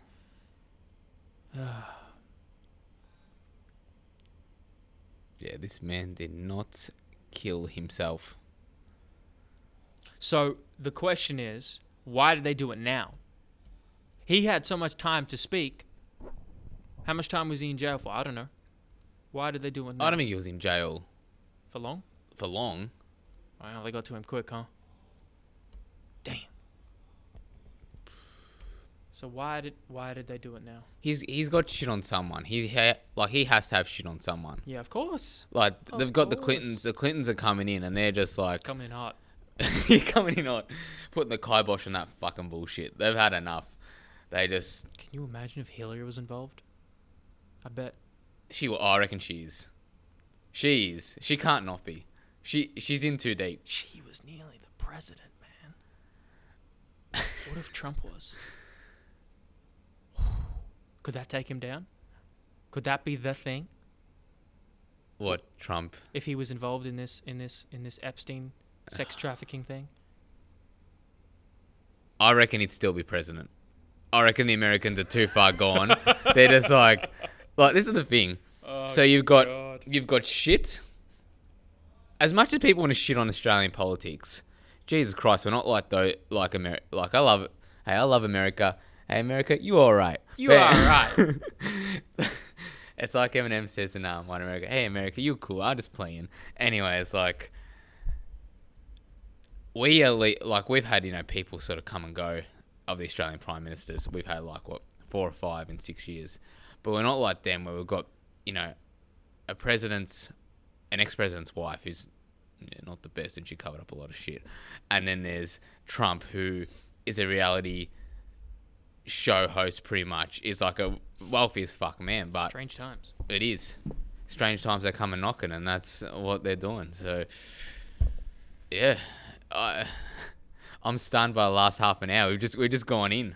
We have gone in, man. It's a it's a strange world, but you know, you, it's important. I think to me, it's better to be aware than ignorant. But as long as you can handle it, if you have the tools to handle the the chaos and the stress and the weirdness, if you don't, then maybe ignorance is is bliss f- for now. And I think you made a good point um, in terms of talking, to, like especially. Well, this is just a random point as well. In terms of with kids, you were talking with George about it yesterday. It's like we talk to kids sometimes as idiots, and we'll talk Yeah. down to them and go like we'll try and over explain fucking everything. Like some people, some kids even at fucking ten years old, they know a lot more shit than we think they do. So it's like if you just talk to people normally, with the ignorance is bliss. I think it's good now. I I used to be like that where it was just like you'd always see the good in people and like oh this person can't do this like this shit can't happen around here. You know everyone's nice to each other. Everyone's good to each other motherfuckers, everyone's gonna cut ya.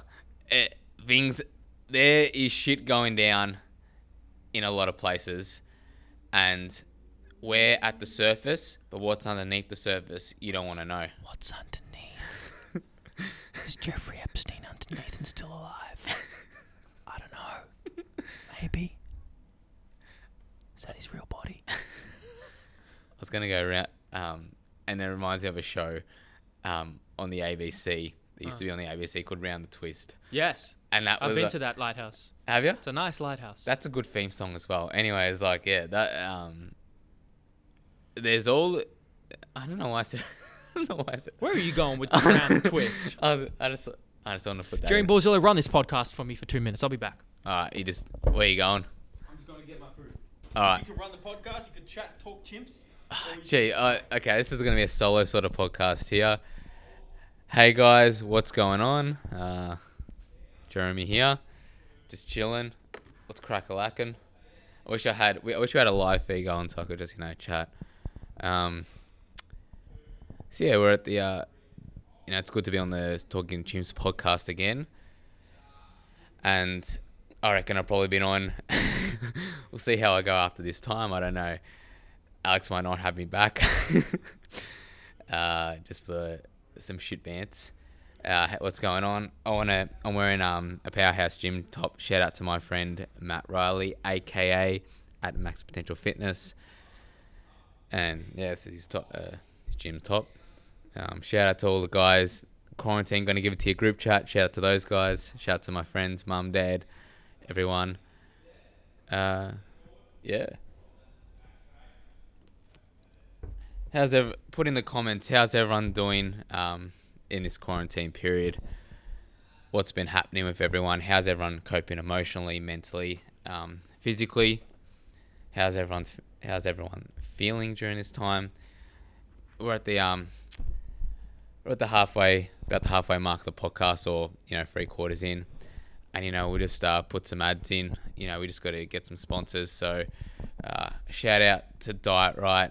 So, Diet Right is uh, uh I'm just drinking some cordial here. Sponsorships? Are they paying for this? I'm doing some ads. I've got to fill some time. Big getting that money. Oh, what are you? Oh, oh, what are you eating there? I don't know.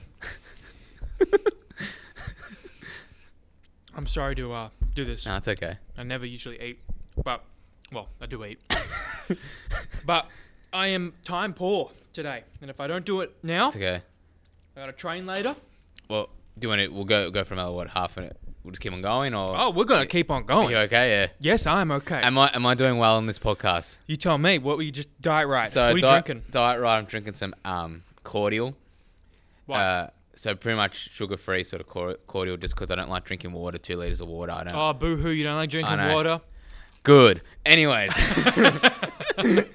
actually, on that on a separate point, I've um been watching a lot more sort of Jocko Willink and his sort of podcast as well, and I think him and Goggins, especially their sort of thought philosophies as well, and the way they're sort of thinking as well. I'm only a recent sort of fan with Jocko Willink, but a lot of shit is above your shoulders.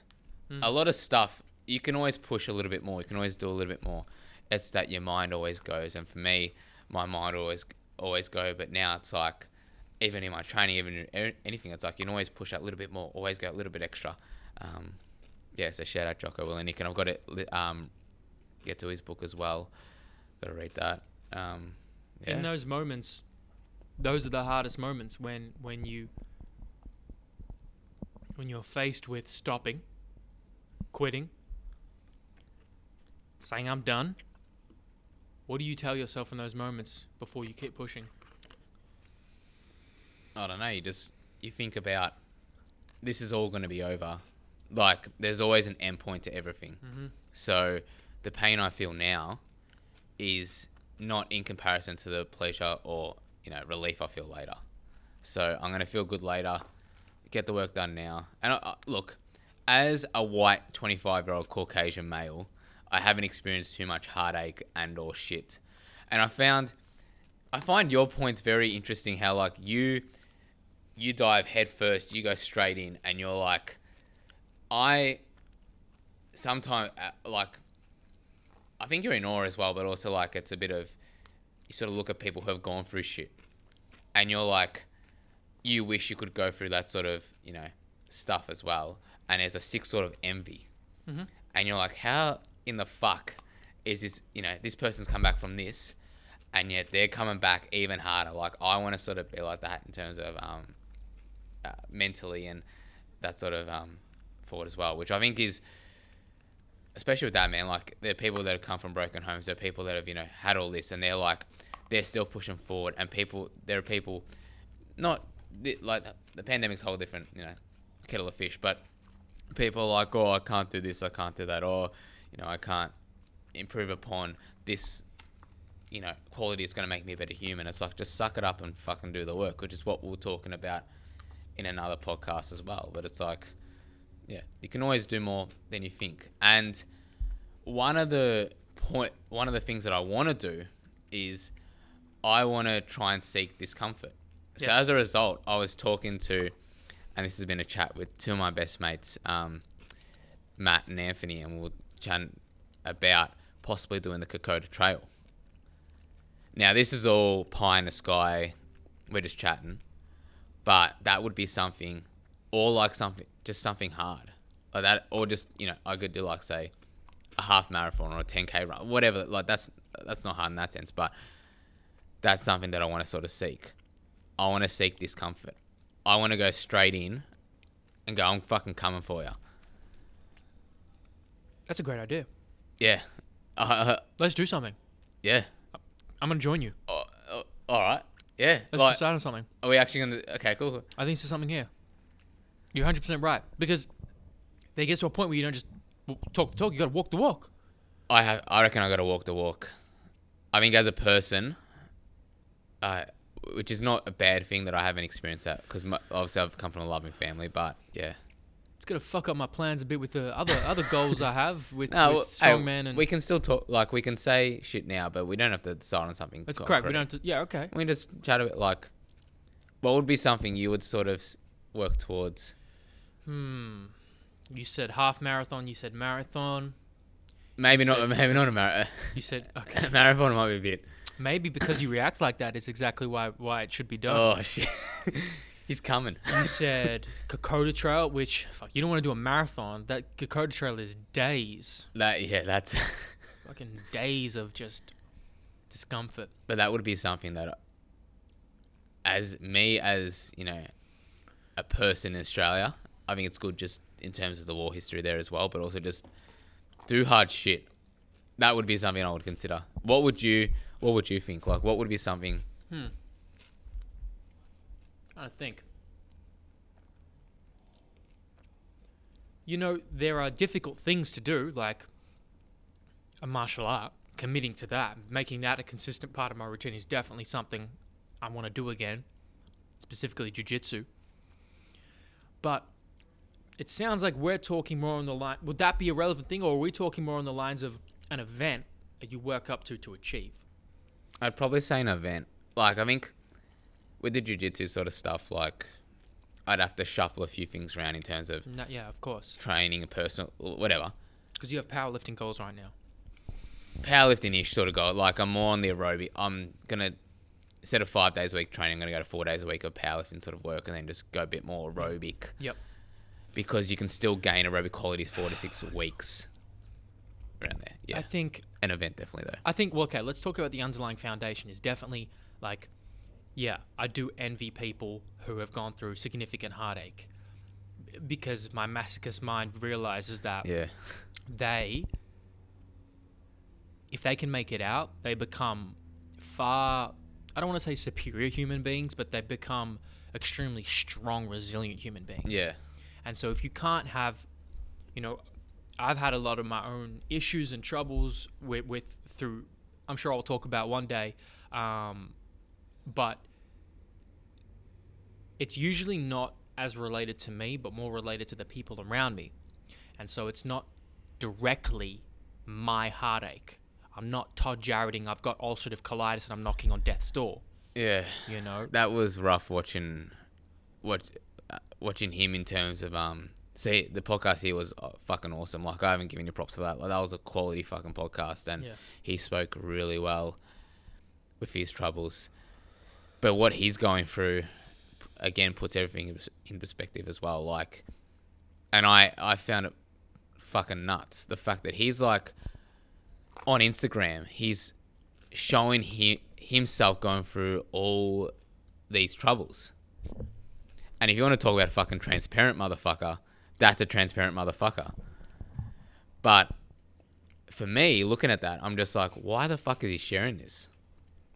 Like, I don't, I know, I know, I know why he's sharing it, but I don't know why in terms of like, why wouldn't he just, you know, not show people the heartache days? Like, I remember, I think it was a couple of days ago, him walking four kilometers mm-hmm. and he was fucked. And yeah, it, your heart, my heart does go out to him, and I, you know, wish him the first of all they can get over the shit that he's going through, but also you know, yeah, it's just it's just heartbreaking to see that sort of stuff, and we're all should be grateful, I guess. Yeah. I mean, every person throughout their life will be.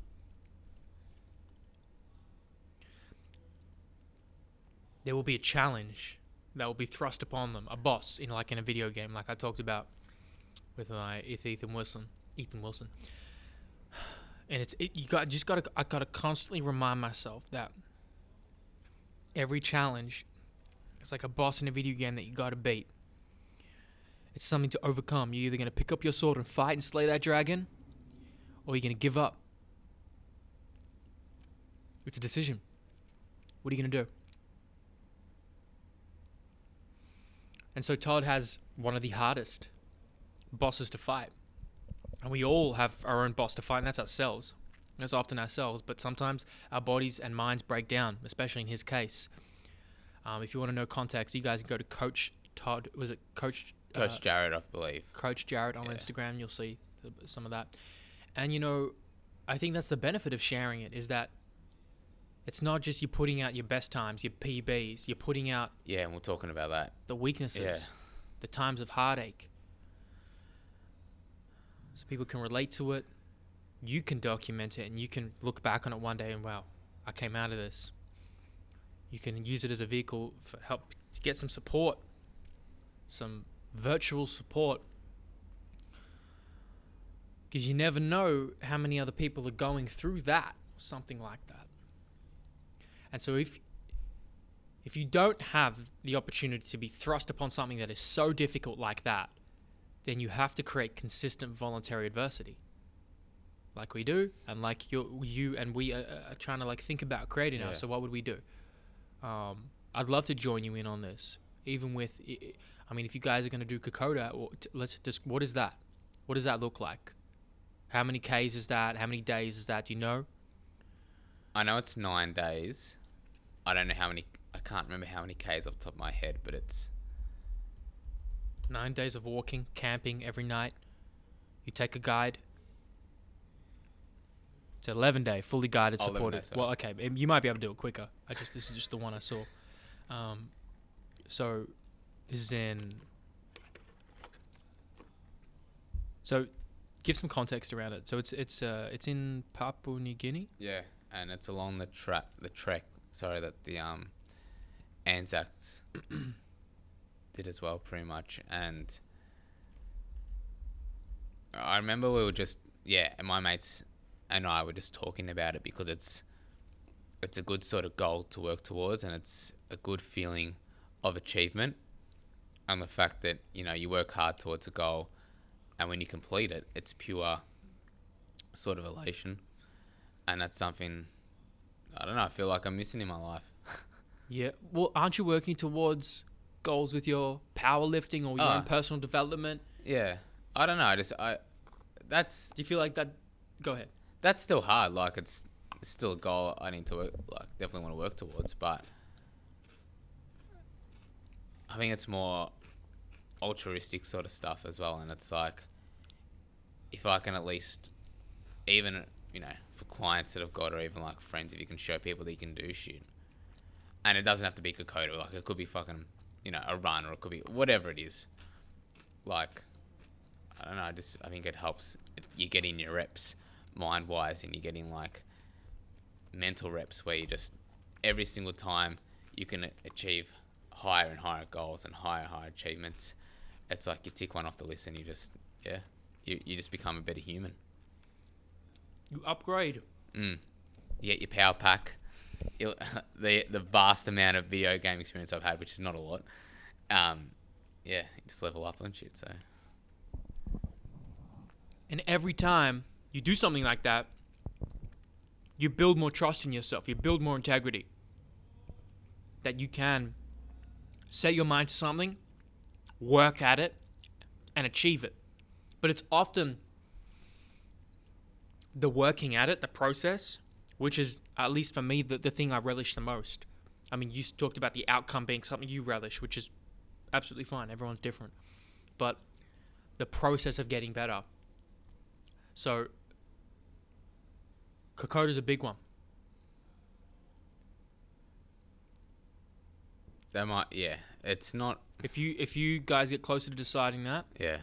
I probably have to chat to them again about it. you let me know. yeah, But can you swim? Yeah. I can't swim well. I'm Can decent, Oh, yeah. Of course you can. You're a swim teacher. You're right.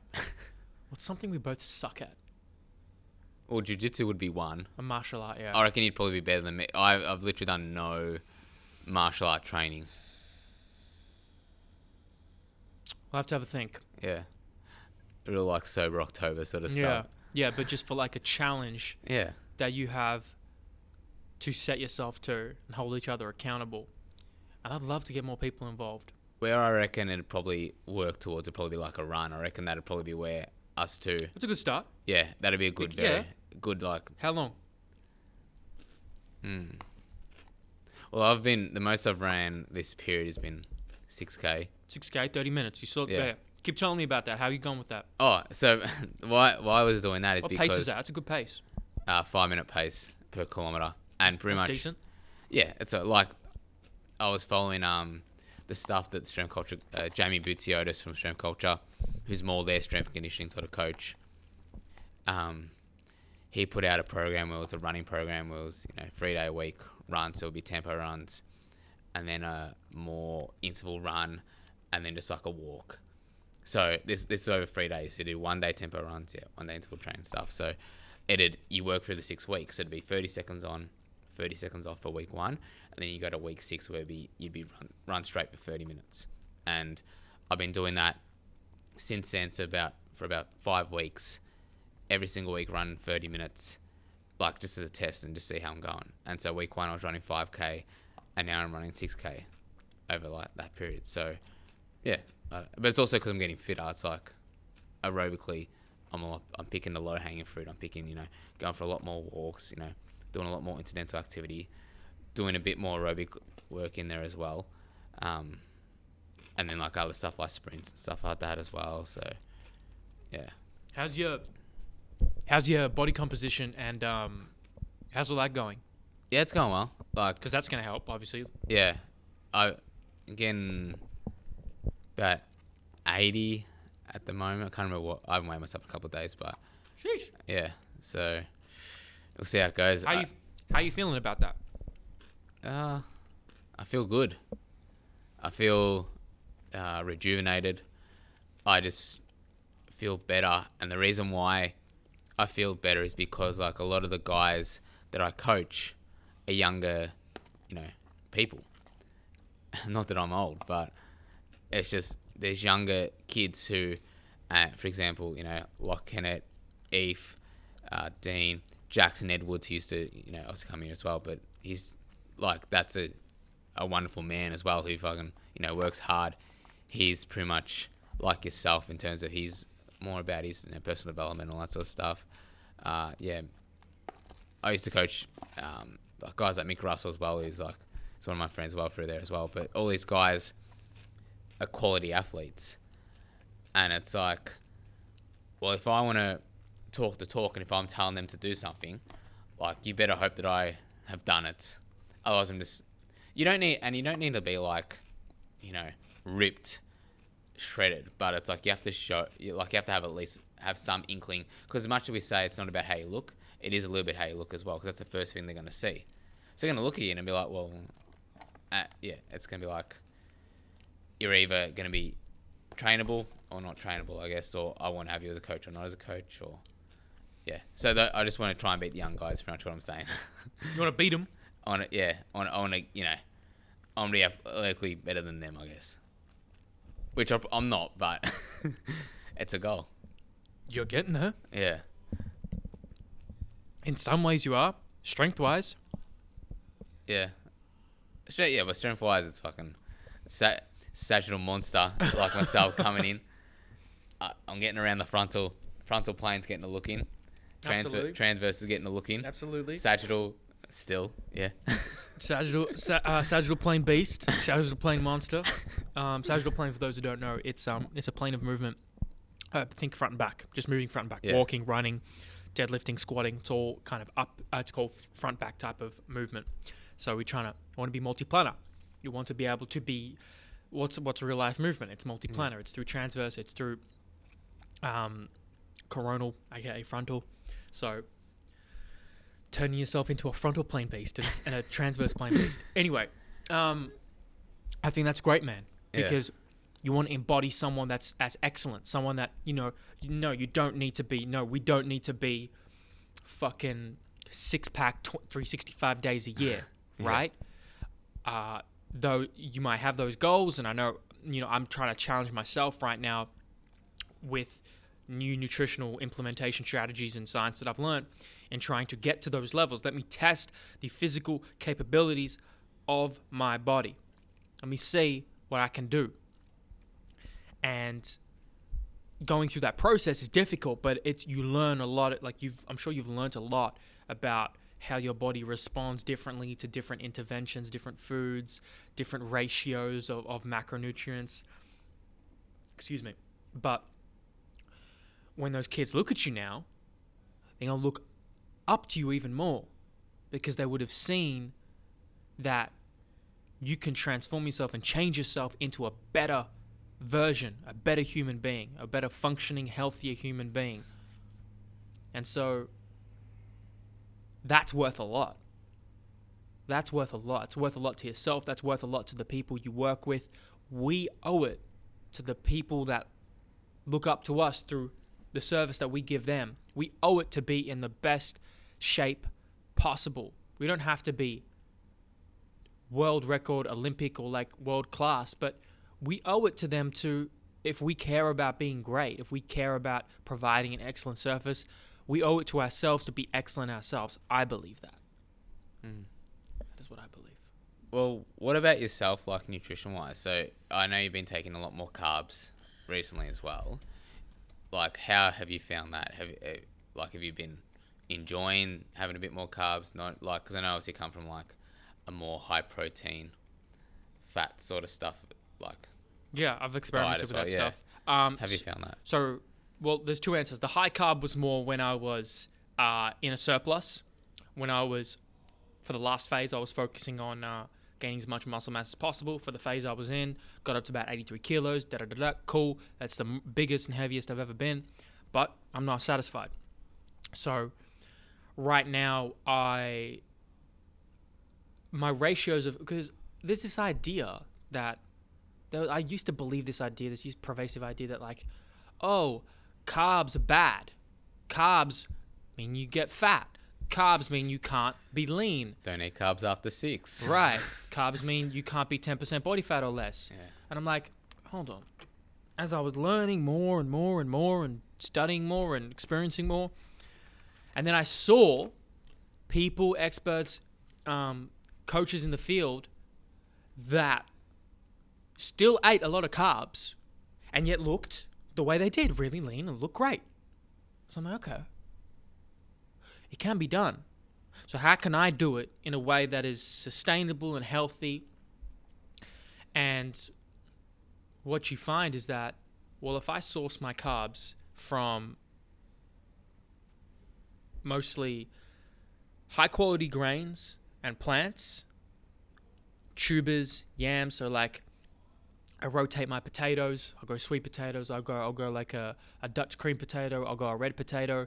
Um, I keep seasonal food variety. You know,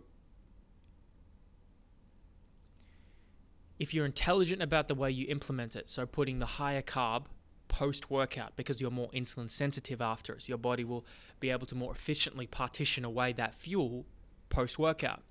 Another example, you're more insulin sensitive, and you, you, our bodies will metabolically respond more favorably to having that higher carb meal in the morning versus the night. Okay, there's there, uh, there's a link between our circadian rhythm, so our sleep-wake cycle, and our endocrine system and our metabolic health. So if you give there's a there's I can pull up the study. Rhonda Patrick talked about it. It was it's a great study that if you compare the exact same meal, morning, afternoon, and night, the postprandial, which means post meal, uh, metabolic response is as least it's it's as most favorable in the morning and least favorable at night. So you can think about oh. that and you can be like, okay, people think, oh, it doesn't matter when you eat, it just matters what you eat. Well, it's a hierarchy. The quality of the food you eat and what you eat and the quantities are probably at the, at the at the top of the hierarchy as one of the most important things, right? But listen, we can't neglect timing. You can't also neglect how you eat. I'm not eating in the best way right now because I'm talking. I'm not probably chewing the food as much as I as I should be because I'm in the middle of having a conversation. Talking with a fellow chimp. Yes. You know, you know how it is. you know how it is. Uh, I'm gonna pull it up. That's interesting you say about how, because for a long time, uh, even things like carb backloading, where you'd have a lot of your carbs is. um, during, you know, the night period or times when you wouldn't be training or anything like that. So you'd you'd focus a lot of your carbs not around training, but around like after training. So you'd have like a lower sort of carb before training, and then after training, just you go a ton of. Mm-hmm. Yeah, that's carbs. ten to what I. That's ten to what I do. Okay. Yeah, yeah. Well, I, I've well, I've done that and I found it effective as well. Like just, I, I don't see the point of having it unless you got to you got to make up a ton of carbs.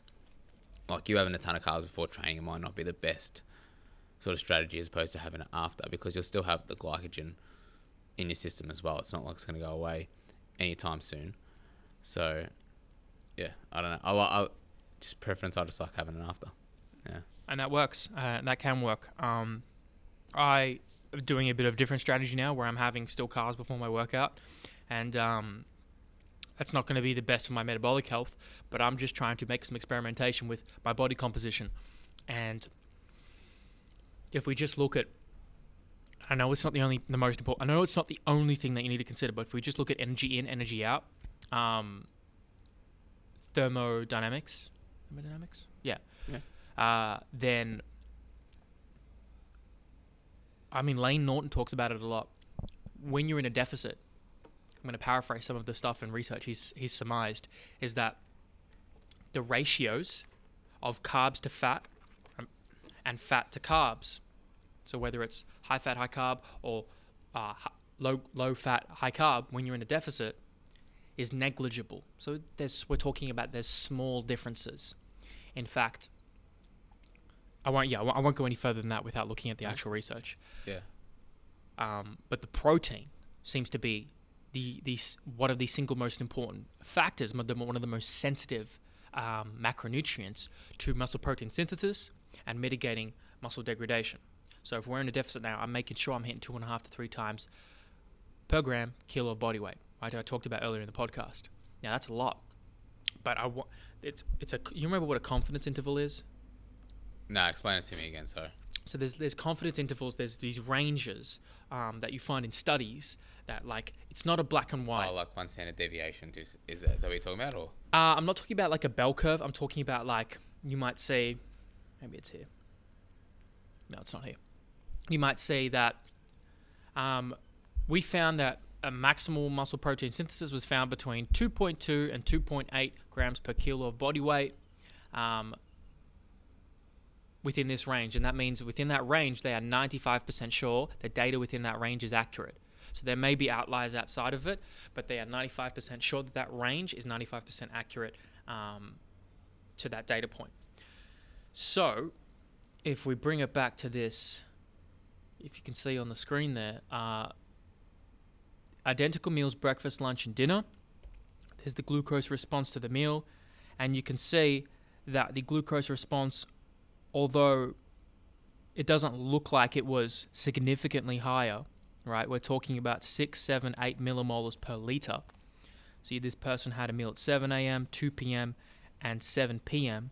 The highest glucose response was at the night to the same identical meal. I'm going to read what I wrote. This is obviously very important for people with pre-diabetes or diabetes, but it is also very important for the general population who want to stave off these conditions and want to maintain brain function because we know metabolic health is tied into cognitive function and potentially even Alzheimer's.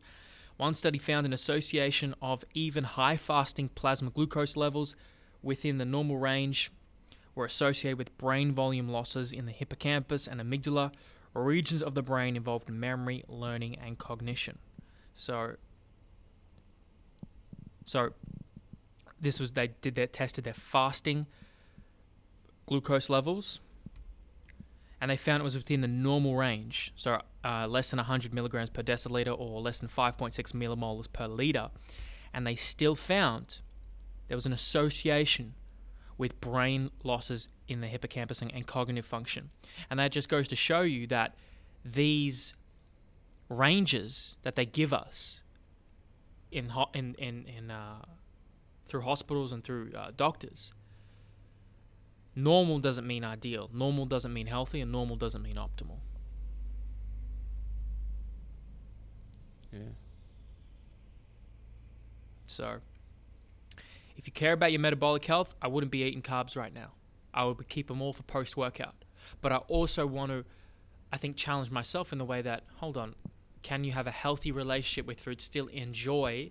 You know, carbohydrates tend to be quite, uh, they give a lot of like mouth pleasure. Like they're, they're, they're, they're, not, they're tasty generally. You know, I, I like potato. I like, you know, like I'm all, I'm all over brown rice right now. Ooh. Right?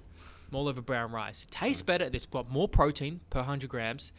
And it has much more, it's much more nutrient dense with B vitamins, thiamine, compared Yeah. to white polished rice. I didn't know this. So I, I like basmati and or jasmine, Okay. but I I know brown rice has more protein, but I'm still like I just like basmati, just and or jasmine just because of the taste. Like just it tastes like soft in your mouth, and it tastes nice. So I was hmm. like, yeah, potato potato, I guess. No, not potato, potato. Because, oh, well, because Well, in terms of taste, not in terms of like other sort of health markers. It's like, all right, well, there's tons of other shit like we can consider. But yeah, in terms of taste, it's like, choo- like first of all, if you're not gonna have some like, sometimes people might just have food, that they don't see it as like an enjoyable experience. It's just like, my like I'm just. I remember a couple of bodybuilders. Like I remember Jay Cutler, um, a, a famous bodybuilder. He used to have like just have like chicken and rice or whatever it was and he'd just have it. He'd just shovel it in like five, six times a day.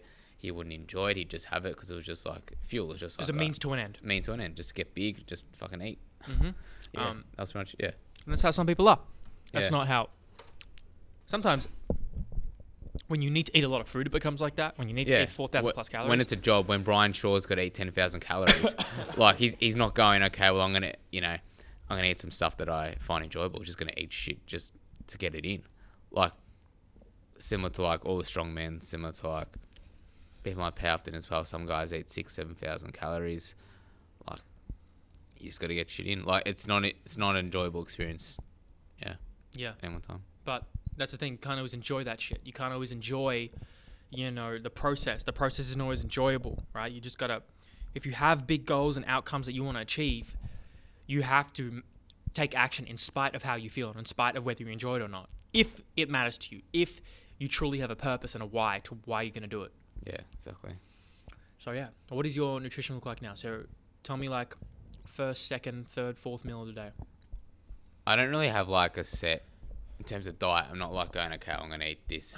Like I'll just see how the day's going, and I probably should in terms of like, all right, well, I'm gonna have this now, this now, this now. I haven't put that much thought, as opposed to what you've done in terms of like your diet and stuff. So I'm on 180 grams of protein. You measure it. Um, so I've got uh, Charlie who puts my diet, and he goes, okay, well, uh, five days a week I'm having 180 grams of, grams of protein, 200 grams of carbs, 55 fat, which is about 2,015 calories. And then two days I'll have on the Oh, week. you're, are you in? So you, wow, you're only taking in two k, two thousand calories. But then. I'll eat 2,300 on the weekends.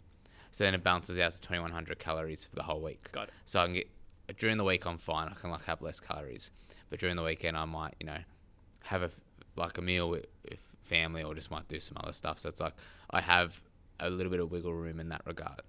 So like I can have it like 300 calories more, but it's also like I've been doing fine off of it. So I think that, that that that sounds like quite a deficit for you. How long have you been on that for?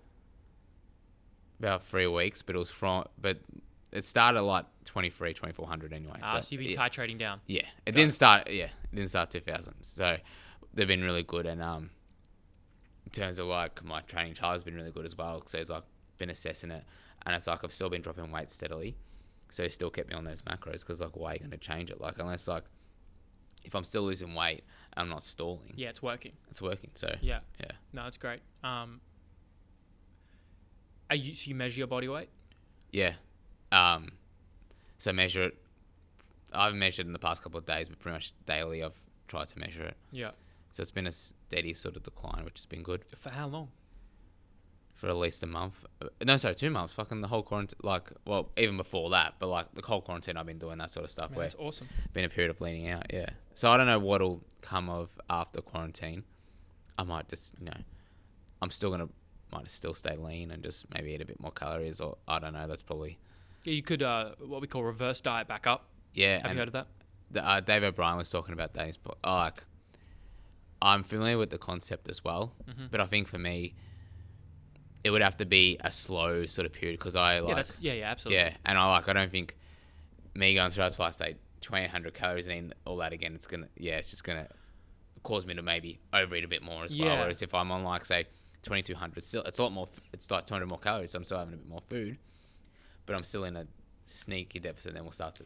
Yeah. Well, that's the thing because these ranges of like being like understanding um body composition and I'm gonna I keep fucking it up. Thermo thermogenics. Genics is heat. Thermogenics or thermodynamics? Which one is it? When we talk about energy and energy out. Speaking of Thermo thermogen. Oh, speaking thermogenic. of dynamics, Anyway, so when we talk about, because then there's the thermic effect of food, which is um, heat is caused by the by um, consumption of food. So you, you don't when you early on in this journey, you don't think, oh, digestion creates heat, expends energy. So you need to factor that in as something that ex- the more protein you consume, high thermic effect of food. Why do you think your body temperature increases post meal? Why do you think um, people can feel warm and warmer after eating certain meals, especially high protein? Why do you think people suggest perhaps don't eat uh, a meal before you sleep? Leave uh, one, one, two, three hours before because that raising in body temperature is antithetical to falling asleep because your body temperature, one, our bodies function better or that they function that we can sleep better in lower temperatures relative to higher temperatures. So that sweet spot is I think it's about 15 or 17 degrees Celsius. And if you've raised your, your internal body temperature from the thermic effect of food from eating, then you may have trouble falling asleep because your body has to cool itself after eating because your body temperature wants to drop down in order to to sleep soundly and to trigger that onset for sleep. So I think that that's something I didn't realize. Um, that I think is a, it's a nice little behavioral lifestyle change that you can make to improve your sleep quality without doing anything. sleep's the best fucking resource you can get as well. Oh, It's, yeah. it's a great performance enhancer, great recoveries, recovery supplement as well. Why spend hundreds of dollars on s- supplements? I guess as well when like in terms of recovery, when you can just fucking sleep eight hours and you feel a lot better. Yeah, Uh, that's that's another issue altogether. it but, is. Um, what sort of resources in terms of with nutrition and stuff? What sort of stuff do you go to in terms of just like as you're talking about with your diet and all that sort of stuff? Like, I know you're talking about Layne Norton, but who, who are those sort of guys that you sort of watch? Well, he's one of them. Um, I think as long as much as people like to shit on universities, I've actually taken a lot from um, my studies in nutrition science at uh, my university and understanding the metabolism of, of, of fats, glucose, proteins, and the biochemistry behind it. I think has really added um, important foundations to my knowledge.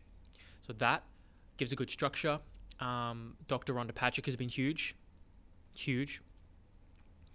I have, I have a lot of a lot of guys and girls. Um, let me let me try and pull some up. So those are some. Do you have Do you have any off the top before I think of some more? Uh, Oh, Dr. Peter Attia is is amazing. In terms of nutrition, not as much. I think Lane Layne Norton probably one because he's more well known. Um, not off the top of my head, there's a lot of people, but it's just it's not like one person where it's like all right, which I don't think is a bad thing as well. I think it can be quite dogmatic, just like listening to one point of view. Yeah, you you got to diversify, diversify your income streams, diversify your knowledge streams, right? yeah, hundred percent, hundred percent. So, guys and girls like that. Um, who else? Who else? I'm just trying to look at my uh, my subscriptions here. Yeah, Found My Fitness. Dr. Rhonda Patrick is amazing. Um, I think. Who else? Yeah, man, you you got to understand this stuff, um, because like uh, Brett Bartholomew was saying, like go outside your field. Even if you're just an S and C coach, go outside, learn about this, learn about that. Um, there will be compliments. Even you don't even have to be in this industry, but there's going to be other things you're going to learn in other industries that are going to aid you in the industry you're in in ways you you don't realize. Hmm. No, hundred percent. It's and also ways you can't anticip- uh, anticipate as well, especially like nutrition's going to help your athletes as well. Even just as he was saying as well, Brett was saying, just be a better communicator in a lot of things. Like I think that also gets lost in the shuffle as well, because if you like if you can't talk well, which judging by this podcast, I'm, I haven't talked well for a You're little bit. fine, this bro. yeah, good chat. Um, that's a big thing as well. Like, which is also being empathetic, empathetic. Also, you know, taking stuff from a lot of different fields in there as well, and yeah, an amalgamation into one person. One person I, I would recommend is um, Ben Greenfield. Ben Greenfield, I bought his book Boundless. It's fuck, he's, it's unbelievable. He is he's a wizard for this stuff, man. He is he walks the walk, talks the talk. He's brilliant, and he's a younger guy. I mean, in his thirties, family, but he's he's brilliant. Um, I check him out. Uh, yeah, I just wanted to mention that. Yeah, I'm gonna have to. I know because I know Green Ben Greenfield, but I've only heard him on like one or two podcasts, and I think I need to. I'll yeah definitely check him out. And You, you will be you'll dive in and you'll feel overwhelmed, but uh, it's all it's all part of it. Oh, I definitely will. I, I know what he's about, like in terms of listening to him. Uh, it'll be a lot of just yeah different stuff, but hey, let's see what see where it takes us. Yeah, man. So tell me more about. So you're breaking down your strategy towards eating, and then we're talking about reverse dieting. And you were, I think the thing about that is what I've what I've been learning is that a lot of people make the mistake when they you talked about oh if I just bounce back up to this high caloric intake after being at low calories 20, 2000 whatever you 2100 you were talking about oh if I just go up that's probably not the best idea for you is that what you're saying Yeah, I think it's because it's also like I want to be better nutrition wise. I just want to you know if I just go back to a ton of calories, it's also a little bit more weight gain as well. Whereas like if you build yourself up slowly and you start to reinforce, or you so you still enforce quality nutritional habits. yeah which is something I've gotten better at through, through quarantine. Quarantine. It's still there's still times when like I couldn't be better, but yeah, I mean, I mean, it's like you can that that's going to be the main sort of you know you you realize too that you know you're consuming X amount of calories. This person consuming X amount of calories, and you're like, that's it. That's a deficit. Well, it, what I've learned is that a deficit and a surplus they're ranges. You have high high points of the deficit and low points of the deficit, and the same with the surplus. So it's a range that's that's in flux and on a day to day basis.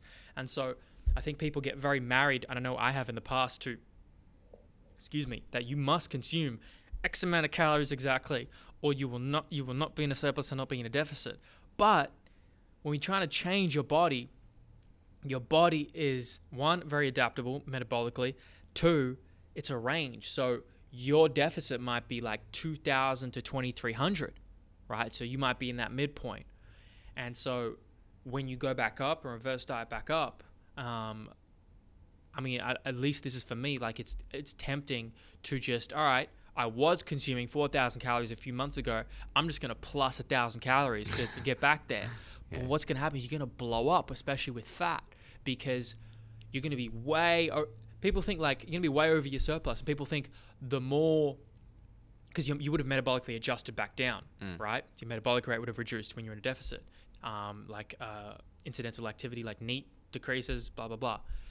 So I think I'm kind of just problem solving and thinking out loud here what I've been learning, and it's that the mistake I've made when I was younger, or at least thinking it, is you're in deficit and you bounce back up, but and even when you're trying to be in a surplus, you're trying to gain gain muscle mass, gain weight, going too fast is a recipe for more fat gain because your body adjusts metabolically at each point And just because you consume more calories doesn't mean you're going to build more muscle. Yeah, there's there's going to be an end range. Yes, I, yeah, there's a, there's a point of maximal muscle protein synthesis hmm. of being in po- what we call positive nitrogen balance, and that once you have maxed out that capability, then through protein intake specifically, and you're in a surplus, then if you just keep piling on more calories, depending on what type of calories, if it's glucose, it's just, you're just gonna oxidize way more glucose, Yeah. or if it's and some will be converted to fat, but not much. But if it's if it's fat, then that shit's just gonna get stored away yeah, hundred percent. which then makes you think, well, the body classic bodybuilding diet, high carb, low fat. I thought that was that was just shit. I just thought, you know, fat's important and fat is important, but I can see now how their style works. Well, now I understand the nutrition science of it and how more glucose, more glucose oxidation, very minim, very little of it actually gets converted um, to fat, carbs to fat when you're in a surplus. It's called de novo lipogenesis, which is the creation of fat from from glucose.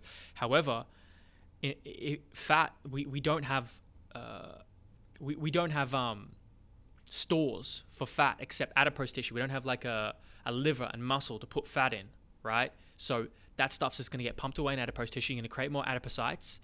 And the thing that fucks with me is that once you ha- create a new adipocyte, you can ne- you can't get rid of it. What? So Fuck. a new fat cell called Yeah. an adipocyte. Once you create a new one, apparently you can't get rid of it. And in fact, all you can do is make them go smaller by taking so they can be empty. Okay. Have no yeah. more fat in yeah, them. Okay. Yep. And but then once they just get bigger and then they multiply and then they multiply.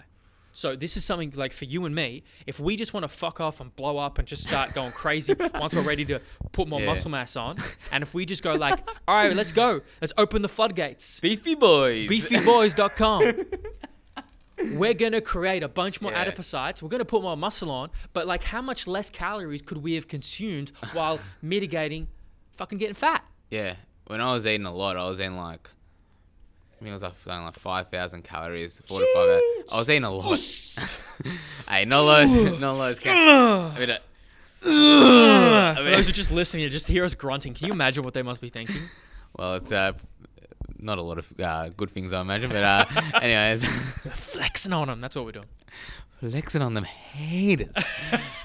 them haters, man. No, no, the, um, that's a good point. Yeah, you can people who are eating, you can just eat too much and you're like, fuck, like I'm not gaining as much muscle because there's only, as you said, there's only a certain point in gain muscle and a certain point in gain fat. And if you're more highly trained, you can only gain less muscle because obviously when you got your newbie gains, you're gonna gain, you know, obviously neural, all that sort of shit. Yeah. Anyways, you're gonna gain more muscle when you first start training. When you, you know, build up, yeah, you're not gonna gain as much. So therefore, you've got to be more deliberate with your nutrition, training in general. Yeah. Yeah. yeah as you become more highly trained as you as you reach close to your genetic ceiling um,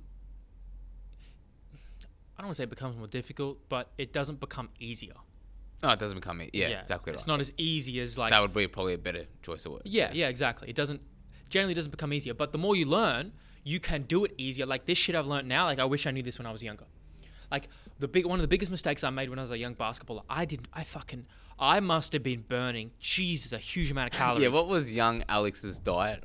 What, like, do you remember like what you ate when you were younger? Uh, yeah. Let me let me have a think. Okay, one, I was definitely like, I, I was mal. I think I was mal uh, mal malnourished, and I wasn't eating anywhere near enough food. And so, let's have a look. Oh, I'll tell you what. So I grew up on fucking like what was my first meal of the day? Breakfast. fucking Weet-Bix and toast and something like that, right? Oh, it's carby. just and you realize there's fuck all protein in Yeah. Weet-Bix and you wonder why you're hungry an hour later so for those who don't know Weet-Bix f- how would you describe it for Weet-Bix for people I'm trying to think, because I've only started having because it's back in the day it was only. Gluten, you're having so- it again No, back in the day it was gluten, so I couldn't have it. It's like shredded. It's like shredded wheat. Is pretty much what it is. it's a high fiber low sugar breakfast manufactured in australia and new zealand by the sanitarium health food company sanitarium. Oh, what's the f- Sanitarium. That's a Metallica reference. oh really Who would get that? I don't know, not a lot of people, but And so they under the guise of like, oh, it contains a lot of B vitamins that help give you energy. Under the guise of B vitamins, they try and sell it as healthy. Um, but it's really just I don't know what the fuck is it made from. but that's also how like the um the steak and eggs, meat and eggs, that all like keto breakfast came in as well by having high fat at the start of the day. yeah. It was like that would suppress your hunger Yeah. to the point where you know you could just go through the, or you could just fast and just have like a high fat sort of like whatever it is. But yeah, that'd be one of the main. Well, fat and protein is satiating. Yeah, exactly. As opposed to just carbs and fats and or like carbs by itself. Absolutely. Which which, Which- for you you as an athlete it was good because you could just eat more. But then is it nourishing enough? No. Well, and also like maybe as like if you just look at it purely as an energy source, like oh, I just want to up my glycogen stores, then sure, okay, it's okay. But it's I need we need protein. Protein can makes up every single cell in the body, right? And if you are creating a lot of muscle damage, which I was as an athlete, I was weight training. I started weight training when I was like uh, 16 or something, and so I, I and I was still having that kind of poor diet. And with the Weet-Bix and the fucking toast, you know, you put your butter, you put, you might put your Nutella. You know, who the fuck has Nutella as the? If you're having Nutella for your first meal of the day, like some shit's gone wrong, right? Or you're just fucking off and just enjoying a cheat meal. I don't know. But Oh, I've done that a couple of times. so, am, am I talking about you, Jeremy? Here? Uh, you you might be peering into maybe a couple of years ago. My No, but if I saw this quote, like if you eat like a kid, you're gonna like perform. What is it? I don't know, man. Don't eat like a fucking baby, right? Don't eat like a kid no more. Okay, we ain't kids no more, and so like you can still enjoy great Yeah. food, like.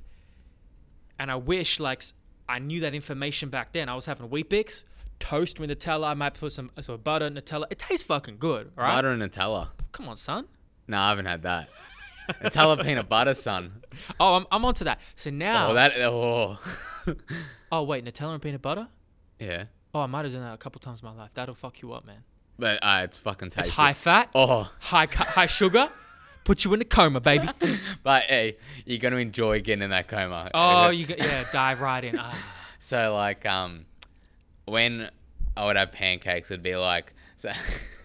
if you want to be a real like a real fat kid, so you'd have like Nutella, peanut butter, and or you'd have Nutella, ice cream, pancake. Sometimes during breakfast as well. So my I used to have not like every single like it wasn't every single week or whatever, just like once in a while. Yeah, But yeah, there's some good or there's some good eating. yeah, man. This those uh, that's some real gluttonous eating. But you know, you enjoy that. You, you Yeah, reflect on it those wasn't as a every it wasn't every week or anything like that. So No, it was every second day. It was okay. Some people eat like that. Like, oh, you know what I, my fucking dumbass did in Arizona? I still wasn't eating too good. Bro, I was, because I, when I was living and playing basketball in Arizona, right, I still didn't have my diet dialed in, right? And I'm like, I wonder why I got all my fucking gut issues when I was, when I was older. Like, oh, this fucking right. Um, I, I made, actually, no, I, I think I was getting into nutrition more. So I was, I was trying to make, I think, like wheat pancakes, like no, sorry, uh, non-wheat pancakes, like buckwheat, I think. Okay. Pancake. No, I did because they were brown and they didn't taste as good.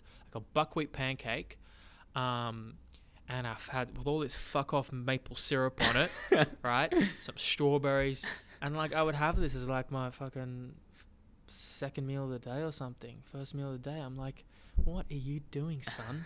Just carb loading the shit out of yourself. Young Sandalis looking, so older Sandalis looking at younger Sandalis. Uh, milk was a bad choice. that sort of stuff. Milk? No, yeah. I used to have a cup of milk when I was a kid too. My parents, they give you a cup of milk from pumped straight from the cow. Yeah. All that lactose. You wonder why you fucking farting nonstop. Milk was a bad choice.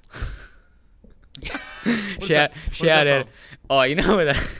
you know that's from fucking uh, fucking Anchorman. Ah, And yeah, I, cause you're cause you're a sweet and wonderful man. You're like, well, why do they call you Brick? And the Cronus is like, well, it's because he looks like Brick. It's not because I look like Brick the Cronus. It's because Woody watched Anchorman and he's like, well, we'll just start calling him that. oh, really? That's it? Yeah, but also I don't know. People might think I look like Steve Carell.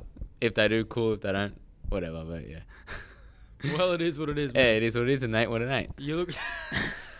you look like Jeremy Borzillo. Let me keep taking you through my diet because I know you definitely. Uh, I find it interesting. Yeah. what was the next meal? Well, I tell you what, I know what happened in the night. The night. Well, if you're at high school, if you're eating, what did you eat in school? I was. I had like fucking sandwiches, and I Yeah, I sandwiches. Fucking hate sandwiches now, man. I never eat a sandwich. I had a lot of fuck a sandwich. I had a lot of fucking tuna. yeah, it's just easy. And but people were like, go, ugh. They'd be like, Yeah, like bread and tuna. Yeah, they're like, I'd have bread, tuna, and then maybe like a tomato sauce in there as well, like a real weird sort of pairing. What are we doing to And, pe- and kids, people, man? people like, ugh, you'd eat that, and I'm like, yes, but also because like people didn't like fish. People no, didn't like, those kids who like they they stay the fuck away from it. They, They hated would. the smell. And also because they know I'd be coming in hot with a tuna sandwich, and they'd be like, oh hello, and I'd be like, well, I'm eating it, so And you get a little snack. Would you get like a piece of fruit or like a like a bar? Like yeah, can? like an like an apple yeah. or something like that. Yeah. Every time, yeah. same fruit. It's like no. No, I know, like a banana mandarin. Yeah, but it'd be the same rotation. Oh, yeah, You'd never see like a, a persimmon. No, Do you even know what a persimmon is? no. It's an orange Japanese, pretty, you know, uh, glucose heavy um, fruit. Mm. Right? It's just it's just a different fruit, but in your kid brain, all, only five fruits In exist. your fucking chimp kid brain. yeah, right. It's like you're cycling the same foods over and over again, like a machine, just the same over and over. You, you no wonder why you're so malnu- malnourished and you're, you're God, You malnourished fuck. What are you fucking eating? you're, you're DAC. you dog ass. Oh, sorry. So in the night, he, you'll know my, my, my meal at like every night would be almost Yeah. every night. My mum would rotate some meals, but the, the one consistently I went to, it was a white rice with Yeah. beef mince bolognese sauce. I think you've you've been Uh, familiar with this. Pasta. Yeah, pasta. I would have. I would have some sort of protein as well, and then just, you know, potatoes, that sort of stuff. Yeah, very much what you said. That that's that sounds like a good meal though. It tastes good for about. It tastes yeah, it tastes good. It's got the it's got the higher fat content from the, the, the beef, which is Yeah. more saturated fat. Um, who knows where that, that that type of beef came from? Um, I mean, that's what I'm concerned about now, anyway. But it would just be rice, beef mince. I would have. I'll put some cheese on it too. You want some more Oh. lactose? So you would oh, just. I would love that. Here were my vegetables: would- cucumbers. I had fucking cucumbers Oh, on the side Okay, yeah. We get a salad every now and again, but I wasn't making food back then. We might get a garden salad that was pretty good, maybe a couple times a month. You know, how they say take. People don't know the Australian dietary guidelines are six servings of fruit and vegetable. No, six servings of fruit and vegetables uh, per day, if I recall correctly. Or maybe it's just vegetables. Anyway, No, probably just vegetables. I think fruits two to three. Oh, you, okay, you, you're right. Thank you. That's for adults. Yeah. Kids, I think it's like four or five, and one serving of vegetables is 75 grams. Um, and my this was my this is probably my daily serve of vegetables: some Yeah. cucumber and a garden salad every couple of weeks. So you're doing already better than me. Really? like mum, mum would. I still have salad every now and then, but like I was just, I was just getting in them cows. Tell me. I don't. I don't know. Just getting it. Like pretty much what you said. Like I would have a, a pasta or like a chicken schnitzel. Yeah. Or like that sort of stuff, and like through, like I'd I'd be the same as you. I'd burn a shit ton of calories. Like I wasn't like a a non-active kid. Yeah. But I just eat a lot. Yeah. and be like, and then like I started because I started going into like stuff because I played basketball through when I was younger, and then through like playing footy and stuff, I was like, all right, well, I got to start eating a bit better, and then I went like really low, like went seventy kilos low, Yeah. and then I went back up, and then yeah, I don't know, just the person I am today, but Now we're here. yeah, I just ate a bit better as well. But you, we definitely weren't eating enough vegetables. Yeah, that, We definitely didn't have good variety of foods. I had a I had a lot of cheese. I remember. Too much, bro. Too much. Like yeah, I would just lot of bread, a lot of cheese. Bro, I don't even know if I should say some of the stuff that I used to do as a kid. Oh, who cares? Like just weird food habits. Like you ever eaten in the shower? I've eaten in my room. That's not- I've eaten in the shower. how, how is that comparable? What? Okay, so what did you, what did you eat in the shower though? oh shit! He said I ate in my room. Bro, that's not the same thing at all. Uh, similar, similar-ish. just, just, you just, what did you eat in the shower? and I got had, just, just it's just silly, man. It's just why would you do that as a kid? Because you just like fuck it. Let me just take this block of cheese and just let me You just start eating it. Yeah. You know, wh- wh- you get this bullshit ass tasty block of cheese, right? Have you seen that stuff? It's just a block, a hunk of yellow. Yeah. Oh. right? And you slice into it, and you pick it up, and it flops around. And I'm not talking about the the, the sliced cheese where it's in the plastic. No, I know You exactly that what you're talking about. Yeah. That is next level shit. That's some good shit. Now, what I mean next level shit, I mean next level shit. Oh, you mean like not? Yeah. Okay. I like it, but yeah. And they'd put it in the sandwich, and they'd they'd tear it open, and they'd flop that plastic bit of who knows what the hell is in that thing. That ain't cheese, bro. Well, it's like for the American listeners, like nacho cheese, and it's like if you get in like a, I've seen America like a, you know, a tub or whatever, or like a, oh. yeah, a spread, and you're like, getting that. You don't know what kind of shit's in that, but yeah. So, and then you'd have your sandwich for lunch in high school. You'd have some bullshit ass. Sorry, sorry, mum. Um, you know, it's, it's a fine sandwich. I just didn't like it. Oh, I loved my food. I wasn't complaining. I don't complain. I don't complain about a lot of food that I eat. So yeah, Well, I'll eat it. I guess you enjoyed it. Um, in hindsight, you realize of course, yeah. that uh, you know you the probably the best meal, the most nutrient dense meal was at the end of the day when your parents cooked it for you. Right? Yeah, that's what I saying. But the rest, you were just scavenging. and just take whatever you could find and whatever bullshit ass food you can find, and uh, you wonder why. Five, ten years later, you might have certain nutrition habits that aren't the most resourceful. Yeah. so, yeah, man. The things, the things you do as a kid, the things you eat as a kid. What else? What else did you eat? Yeah, and then just like I'd have like ice cream after dinner. I'd have like all that sort of stuff, Yeah, and then just people like still do that just now. yeah, it's just dessert sort of stuff. But now it's so different. Like now, like I would never eat like meat or nuts and vegetables Yeah, for breakfast exactly. before. Now, Yeah. but now it's like consistent, lean meat, kangaroo, um, a cornucopia of vegetables. Oh, that's what I got to fucking tell you. I went to the shops yesterday. yeah, got some kangaroo. Kairu, but crocodile sausages. What? I saw cro- I saw crocodile sausages at Coles. TAC. There's some fucking shit going down, man. That's crocodile? Crocodile sausages. I Where? ha- I've- Not Uh, the supermarket. where the Kairu is. I kid you not. What, like a Woolworths Coles? Coles. Did you get some? I, I'll go get it next time. Report back. I, I, I didn't want because I look. I was already I was already blown over like mind blown by the fact. What time? What? Sorry, what was that? what type? no, not no. Uh, sorry, I got excited. Um, Casey Drew's listened to this. Like, you're not listening to him. She's not listening, probably. But what type of cut of crocodile was it? I don't know. Crocodile. It just said crocodile sausages. oh sausages. That's what I mean. Yeah, I don't know what type of cut it was. Ah. Or sorry, what, what like Should we be eating that? I don't know. people eat some weird shit, man. We I, I, uh, we had I know kangaroo. I, I uh, know- we had we had a bat to start this whole thing, but uh, Hold on. Hold on. lad. Hold on. and I say that because I was being very antag- antagonistic, but Yes. yes. I um, see. but yeah, uh, I don't know. What is the crocodile protein content? I'm sure it's through the fucking roof. Have Because you that seen those fuckers? Yeah, I know. That's what I'm thinking. Like, if you ate that, They're, s- they're fucking dinosaurs, man. You don't want to fuck with them. no, But you, if you, I think there's something to eat strong animals, yeah, eat killer animals, eat wild animals. Like if we're gonna eat animals, eat those animals. Eat the kangaroos. Eat the, eat the wild animals. yeah, That, that the ones that aren't endangered. I'm not saying eat endangered animals. Absolutely, I do. I, I will. I do not co-sign eating endangered or threatened species. yeah. Um, but I'll have to report back though, and let you know yeah, about what. Yeah, and Lo- Lock Kennett as well. I expect Lock Kennett to eat those fucking crocodile sausages, son. who? You're in this, you're in this Kairu conspiracy as much as all of us. Yeah, you're eating this fucking shit with us.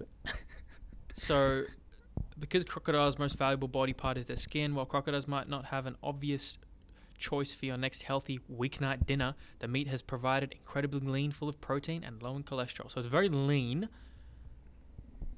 They eat it up in the Northern Territory, where they're where crocodiles are, co- are as common as pigeons, apparently. Uh, Pigeons. oh. You know, people eat pigeons. It's called um, what's it called? Quail. No, bro, it's a fucking. It's, Oh, a, little, it's a little duck, isn't it? Isn't that? I don't know pigeons and quail are like. It's it's unsourced, It's a, it's, which oh, we it's not. It's, it's not a duck. Sorry, uh, we're both idiots. we're both just chimps, aren't we?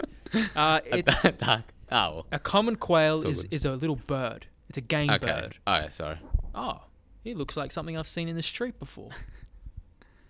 Ah, ah, no, he's different. Anyway, Look, the French eat snails. So what what are we all talking about here? what are we all talking about, man? People eating ants and making ant protein. You can get ant protein. You want some ant protein, bro? Oh, gee, that'd be good. You know how many ants there are? I've crushed a couple of ants, but wouldn't mind eating a couple of ants. So I can get the super ants. You know how many ants you would have? A 3.5 ounce serving of red ant supplies 14 grams of protein. Oh. How much is 3.5 ounces? Who does ounces? How is that? The the? Americans, those fucks, because they're not in the metric system. Get o- get on the metric system, son. Hop on the train. Hop on the Stop train. the riots. Hop on the metric system train. We got bigger problems. You've been on your ounces and pounds for too long. It's time to get on the kilos and or meters and just aware yourself, son. Tell them. Done. It's 100 grams for 3.5. So 100. That's a lot of fucking 100 grams of ants. for yeah. 14. Uh, that's okay. Um. Anyway, should we eat? how many? Okay, so we know there's 50 million kangaroos in Yeah. in the country of Australia. How many crocodiles in Australia? Jesus Christ, there's 100,000 in the Northern Territory. Because they, then they also had at the shops like venison and stuff like that, and just like Oh yeah. so. Uh, venison, I'd probably be less likely to have. But crocodile would be interesting. Look, it's kind of uh, when you're in Rome, try it out. Yeah. When you're amongst the fucking you know, architecture, seeing all that shit, might as well have some. Oh, venison. They got venison too. They got like elk deer. Yeah. Wow. That'd be Now interesting to that- have. That'd be interesting to have. That's a proper game animal. like I wouldn't have it, but I don't know. Just Why? No, no. Well, if you don't have an answer, then why wouldn't you have it? I don't know. Just it reminds me of it's ve- like it reminds me of like veal and stuff like with venison. So I don't know venison and veal. Are, that just might be a, very idiotic statement I just made, but Well, veal is a is a baby. Or um, I've had veal. sorry, no, no. yeah. I've had veal before, and it's yeah. So veal is like a, a young car, uh, a young cattle. Well, it's like a calf, so it's a, like a baby cow. Yeah. So, I think th- that's I've tried it before, and that's something that I probably wouldn't have again because I don't think we need to consume like young Yeah. animals. Yeah, it's just Like I think if we're going to consume animals, let's try and do it in somewhat of an ethical way and consume the ones at the end of their life cycle, Yeah. the older ones that are passed on their genes. Um, and this is why when people go hunt in, in places around the world, the tags you get to hunt, you're only able to hunt a certain specific type of or age type of uh, deer or elk, um, and these are the they rank them by the size of their horns, um, and they're graded on a system, and you can only kill like the older ones that have passed on their, their DNA to other, the, you know, to their next. They've had kids basically, um, which I think is uh, an ethical way to go about it. definitely think it's good. But venison is uh, elk, deer, or antelope, whereas veal is a baby yeah, cow. baby. Okay. It's different. All right. Crocodile, on the other hand, saltwater crocodile population is 100,000 to 200,000. That doesn't seem like many, Yeah, it's not, not a lot. um, but they might be getting them from, I don't know, somewhere around the world. Wait, is Australia the only place that has crocodiles? And everyone else has alligators? Come on, Jeremy Borzillo. Yeah, that's what I think. I think I could have said anything you would have agreed with me. Hey, No, we're wrong. There's American Oh, crocodile. There's the there's the Oh, freshwater crocodile. There's the. Oh. Philippine crocodile. Okay. There you go. Man, that's really interesting. I've never heard or seen. Um, is it is it is it Siru? it should it should be. Hey, those Kairu fat cats have had it too good for too long. Ah. Crocodile's coming in now. Saltwater crocodiles have come back with a vengeance. The total Australian population is currently estimated to be 100,000 Northern Territory alone, and probably more than 150,000 Australia wide. With the rise in number, has become an increased fear. Oh, so maybe we need to whack a couple. Oh, I reckon we need to whack a couple. You think so? How many? At least ten. Let, let, let them know. so you send the, you can send a message to ten of them, and then it's like, well, They'll tell their friends. Yeah. Man, I don't think they give a fuck. Look at this thing, bro. Oh shit, that oh, was a comes up. that was a bad reveal. I'm trying to show Jeremy Borzillo the photo. Say hello to my little friend. Yes. Coming in with the heat.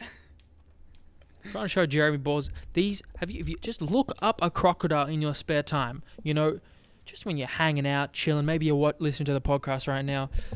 There's a um an Instagram page called Nature is Metal. That's some good shit. You think the shit you're going through is tough? Go on uh Nah, nah, nah, nah, nah. oh gee. Oh, He's slowly appearing, like the projector's slowly coming on. Holy shit. Come on, look at those teeth. That's not even proper yet. Just wait till it really comes on. Come on, son. Oh, you pop Uh. up. I'm not going to sign up to your newsletter. I'm trying to talk some chimps over here. They're cock blocking me. Look at this fucker. Fuck. It's a dinosaur, bro. What did you What did you just say that we can look? What we can look up? Nature is Metal Oh, that's right. on Instagram. Yeah, that's got some good shit. We've been, podcasting as well a long time. Oh. I'm liking this All day. all day. I don't think we'll beat the Dave O'Brien today, but uh, nah, we we we got things to do. things to do. Nature is metal. Um, so, geez, 2.3 million followers. Yeah, there's a lot of fucking. Shout out to Rogan for getting getting them on Yeah. that. Um, so, if you you th- if you think that what we do to animals is bad, Oh, you haven't just seen see what yet. animals do to animals. A hummingbird somehow trapped itself and died in the fork of this plant. I what the oh fuck. it impaled itself into a plant. But you know what? If, if animals had like a page for human beings, can you imagine? Let's flip it around. Let's imagine now there's an there's like another species of animals watching us, and they have their own page called like humans are metal, right? And can you imagine the things you would see? Oh, and there's shootings, stabbings, people. Like this is happening each to people, off. people impaled through Yeah. through things. Oh, yep, okay. Oh no. I, I don't think everyone is bad. Like we're watching these uh, little. It looks like a grizzly bear, and these little baby grizzly bears trying to get up, up on the snow. Wow, look at this little thing. Oh wow, look at it protect. Oh my God, Oh shit. Jesus! Damn, nature, you scary. So what we just saw was the grizzly. There was there was these grizz, little mini grizzly bears, little baby grizzly bears, and then it couldn't get up. It's like it's it's pretty cute, but it can't get up. It's struggling, and then it's running down because it's afraid of the car. Right? There's a car driving past. It looks at the car, tries to come back. The mother grizzly bear comes down and starts charging the car. Get out of here, bro! A grizzly bear just tried to uh, charge a car, man. You think you can stand a chance? Hell no. oh my god. This is about a horse. When a stallion is ready to mate, they get super aggressive, as does the mare, and when she's not accepting of his advances. Oh shit. According to the user who submitted this video, the stallion who was worth 45,000 US dollars. Oh, Jesus Christ! Oh. Oh. You got knocked! Oh my god! You got knocked the fuck out. Bro, Oh, oh shit.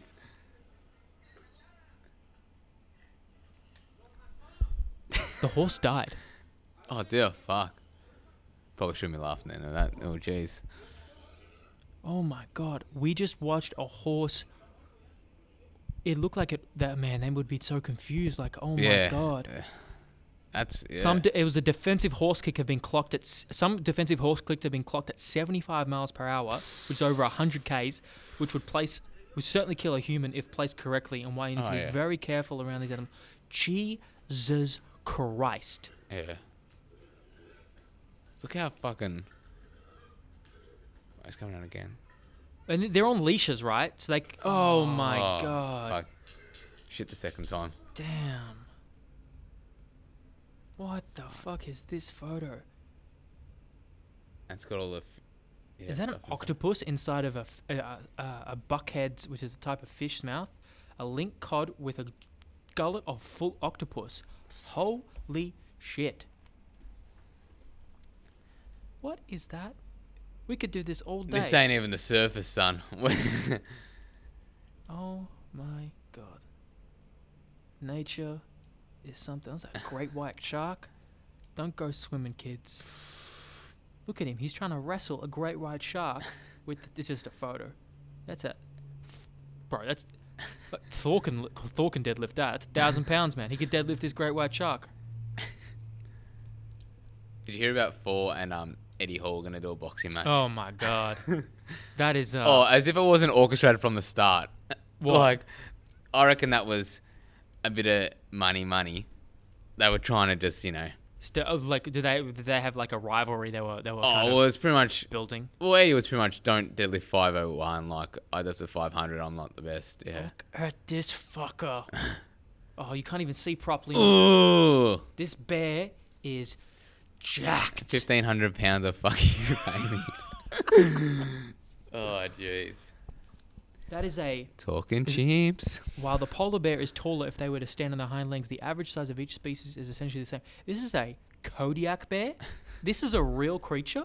A Kodiak bear. I have never, ever. The Kodiak bear, sometimes known as the Alaskan brown bear, inhabits the Kodiak archipelago in southwest Alaska. It is the largest recognized subspecies uh, of the brown bear and one of the two largest bears alive.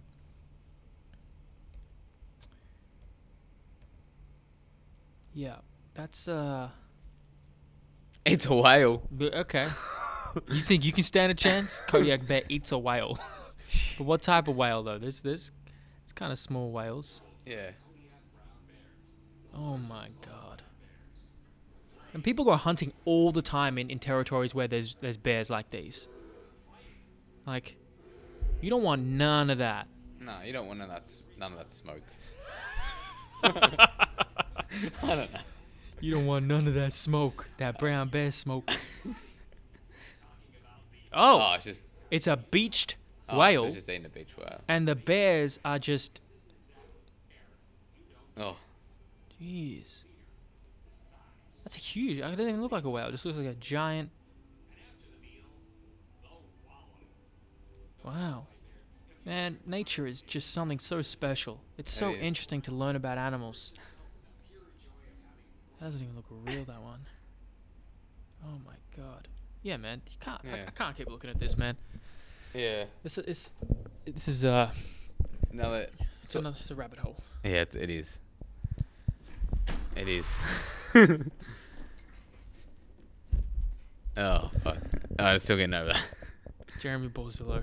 I mean, I mean, we're, What are we gonna do? What are we gonna do? I don't know. What are you gonna do? In life, uh, well, after this, I'll just you know look some more nature's metal, you know, stuff and just digest that content. Think it's a good place to end it. yeah, I was gonna say, um, We've gone, we've gone nearly three hours. So yeah, this is the longest podcast I've ever been on. Yeah. I've been on three podcasts, so that, this is the longest. What's what's the third one? Oh, Uh, my, all mine. Yeah, all yours. Um, I want to thank you, Mr. Sandalis, for having me on your podcast. I appreciate it. Hopefully, people took something out of this.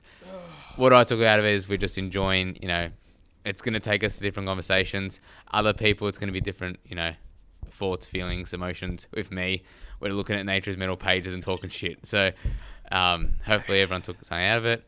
Uh, you can find me at uh, at Jeremy Borzillo on Instagram, Jeremy Borzillo on Facebook.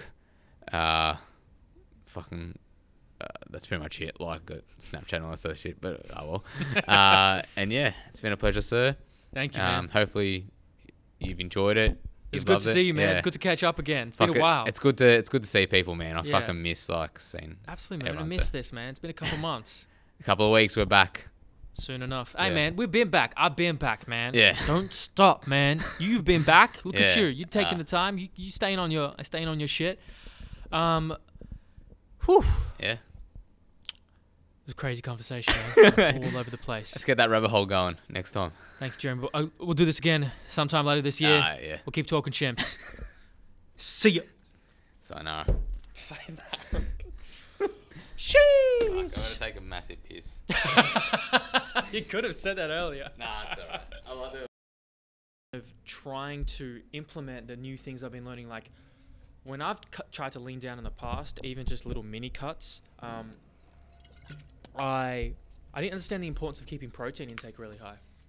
I Yeah. didn't, I didn't understand the importance of, you know, to mitigate muscle wastage and maximize muscle protein synthesis when you're trying to lean out, cut body fat, um, and maintain as much muscle mass as possible, you need to keep your protein intake high. We're talking like 2.5 to 3 times grams of protein um, per kilo of body weight Yeah. of lean mass. So if you like weigh 100 kilos, you got 15% body fat, that's 85 grams times, for example, 3, 8, 6, 12. It's like 230, 230 grams of protein. Does that make sense? No, hundred percent. Um, the thermic effect of food, exactly right. Like that's gonna help you. Um, Well, the thermic effect of food is going to, protein sorry, uh, for protein, yeah, but, and it's gonna help you cut some weight as well. Just because of like, if you're having more protein, it's gonna be a lot easier in weight loss. But then again, like some people can go a high carb diet and they're fine. Some people can go a low carb. Yeah, it's all yeah matter of preference. Well, it depends what you want to happen. If you, if you Yeah. want to mitigate muscle wastage, if you want to maintain as much muscle mass as possible when you're in a de- caloric deficit, Yeah. you need to keep protein intake high. You need to have constant pulses of, um, you know, 30 to 50 grams of protein. Make sure you get the full amino acid spectrum, especially essential amino acids, so you can be in a positive nitrogen balance, um, which just basically describes uh, more protein synthesis and degradation. Um, uh, that's kind of the stuff I've been learning from Layne, Nor- Layne Norton, especially. Do you, do you follow much of him? Uh, yes, I do. I like Layne Norton. He's uh, He's fucking brilliant. I think Layne Norton. I like Layne Norton because he calls out a lot of bullshit and he's just very matter of fact and like. Yeah. I think, yeah, he, he does put out a lot for the fitness industry as a whole, and I think people see his message and they sort of you know judge him based on like you know online sort of things. It's he only wants everyone to just you know get better as a whole, and it's like he's calling out people that are fucking thieves and people that you know Lying and yeah. lying and a dog shit and just like DACs and stuff like that and DACs? dog ass cunts. That's uh, that's an MSC. Hey, we're getting the ball rolling. That's an MS- MSC. Sort He's a DAC. he's a dog ass cunt. That's like a. I uh, ain't heard of that, man. shout out Strength Culture for Shout that. out Melbourne Strength Culture, one of the best powerlifting gyms in Melbourne. and Woody won't like me calling them out, but uh, Why? I'll get coached by them, Mr. Charles. Oh, Afa- oh, that- yes. Mr. Charles Afanasiou. yeah, man. Uh, Let's collaborate. Let's work boys. together. yeah. They're doing great stuff. yeah, so um, and I think also uh, with Layne Norton, he has had success with a lot of people as well, and there's he's had his personal life. It's all it's all a big sort of fucking like. They shouldn't judge him on his personal life. They should judge him on his, you know, coaching. And his coaching's fucking good. He's got great information. He knows his shit. So, Yeah. yeah. Yeah, I I'm mean. I don't, I'm, not, I'm not even familiar with the personal stuff you're referring to, but like, Oh, we don't need to go into it. no, we yeah. don't. But just like assessing the individual as like an as an expert and their knowledge, Yeah. like I'm learning a lot, and it's very practical. Um, but you walked in with a whole bunch of books, Jeremy Borzillo. You want, you want to break down what you brought in because Uh, you have been voraciously reading in this time Yeah. of Uh, restrictions. Now, have we started? Is that a callback to Ethan Wilson? a little bit, yeah. Oh, actually, no. Um, My yeah. last podcast guest. Yes, Jeremy, we have started talking chimps. Can I give you a um a pump up first of all? Can I can I just say some You nice can things inflate. about? You can inflate the tires a little All bit. right, so Alex, um, during this period, so I've been listening to a lot of your content and um, so Hmm. Orphic education. So first of all, not even talking chimps. You've been doing a lot of stuff. No, for those who don't know, I, I've managed to create a second podcast with um, Matt Whitbrook and Alex Karamuzis at Orphic Education, uh, which is on, more on the topic on health, wellness, fitness, getting the best health and wellness fitness um, coaches in the country and the world and chatting to them, just to give some context. Yeah, and the first episode was obviously like, you know, Woody, uh, Locke Wilmot, Carl Goodman, me and Fazali, who I reckon would be a good sort of um, Orphic education guest in terms of stoicism. Uh, who else is on there? Uh, oh, um, Sean Ryan Baker. Everton. Um, Oh, Ryan. Yeah, yes, yes. We, we had for people who don't know those names, think heavy hitter coaches and Yeah. owners of gyms around Australia. yeah, Athletes Authority is one of the best, and obviously Woodford SSC is Have one you of the best. seen that facility, bro? Yeah. If I lived in Sydney, I would get my ass down there. I'd be training there six out of seven days, probably seven out of seven days. But yeah, no, um, yeah, and- as I said, like you've been putting out some really awesome content, so I think people should check it out. Um, I listened to the Brett Bartholomew interview yesterday, really rated it, um, and I think Brett puts a lot of good points out there. Uh, especially the fact that like we as S and C coaches don't need to fucking go into S and just stay in in our lane. We can also venture out into other fields, and you know, he was talking about it is okay to fail. It is okay to just you know if you put yourself out there and you fail, it's no big deal. Like you can always, you know, pick yourself up, and go again. You can always like do other shit. You can always learn other shit from other people. Um, so yeah, I really and it was cool also that he um gave you props at the end of the interview, which I thought was pretty cool. Like he, Man. di- he didn't need to, but No, that, that, was uh, fucking pretty. I cool. didn't expect that. That was um, uh, I just had to uh, keep composed and just say thank you when someone like that gives you such a such a compliment because you know I feel like a guy like that, guys like that, they don't really, they don't give out a lot. Yeah, and it's not that they they don't want to. It's just there's so many fucking people they interview. Yeah. There's so many people. So Yeah.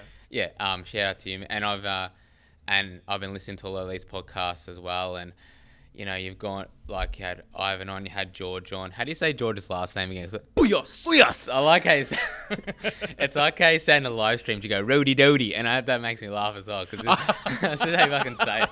You seen the solo live chimps? Yeah. so I like how you say you go roadie doody, and I'm like, ah, fucking, that's shit. I love how you remember that. There's- if you're listening, Rody Doty, shout out. He's just some random Oh, YouTube fan. And then um yeah, and I'm listening, so the um Jademans, the Kranis, who else is on there? A ton, a ton of other people. Oh, Casey Drew as well. Dave O'Brien. Dave O'Brien, yeah. And then the J one was good because I was shopping, I was at the shops, and then I was listening to your um, podcast because I'm an antisocial fuck, and then uh, and I was listening to that, and then um, you said you gave me a shout out, and I was like, oh, oh. So I'm just like getting some watermelon. I'm like, oh, nice, and then just you know went into other shit. So I'm getting some watermelon in winter, by the way. Yeah. What's up with that? uh, low calorie shit. Uh, Yes. I don't know. Anyway, so yeah, no, I really rated it, and um, Appreciate it. yeah, and I like your. It's just it's been really good. So I want to say um, thank you for all the stuff you've been doing, and yeah, really appreciate it. It's, you know, I've gone, done a ton of walks, tons of runs, just listening to your shit. So You be telling me. yeah, That's uh. and I and I give you sort of playback sort of stuff. I'm like, Yeah, I Alex, is, uh, yeah. uh, anyways, um, yeah. So my books, a long sort of Thank you. turn around to my books. So I've been reading. I so first of all, um, at the end, so when when we closed down, so when we Was that March? Early March? yeah early March, so I Jeez. I was here, you know, just chilling. Went home, and I sort of thought to myself, sort of what Ethan sort of did a couple of last episode. Yep. What do I what do I need to do to get better in this period? And there are tons of things because I'm not a perfect individual, but one of those things was I need to read a lot more. Two of those things, two of those things, sorry. I need to read a lot more and I need to pick some low hanging fruit hmm. in terms of the aerobic variety. So I need to like I need to probably something that's going to help my lifting is going to be me doing more aerobic work and me doing more um, low intensity sort of shit. So just trying to, you know, get my heart health better, just try and be a better functioning human. So we're humans first, we're athletes second. So, and I've heard that from a lot of people. Yeah. Um, I don't even know who to attribute it, the quote to. yeah, I've heard Jake Tuura, who's a S&C coach in the States, who Melanda, shout out to Melanda, she'll know who I'm talking about. But Coming on soon. um, yeah, so anyways, stoicism's a big sort of thing. And Keep talking. I've been listening to a lot of the live um, on Thursday afternoons, a lot of the live chats that the Strength Culture boys are putting out there. And one of their um, clients, who's also a um, lecturer, is Dr. Pete Coleman, who. Yeah, it's good. Camera just decided to Oh, it shit itself. shit itself. Good old shit. You are watching, talking, or listening to Talking Chimps. Do you expect us to behave? Do you expect a chimp to behave in a zoo? And how are you gonna expect us to behave? We're in a fucking zoo. It's called the fucking planet. Spinning around on a marble hurling through space, wondering when the fuck we're gonna get off this ride. Never. we're stuck. And we're in a Milky Way, which is in another universe, and another universe, and another universe, and another universe.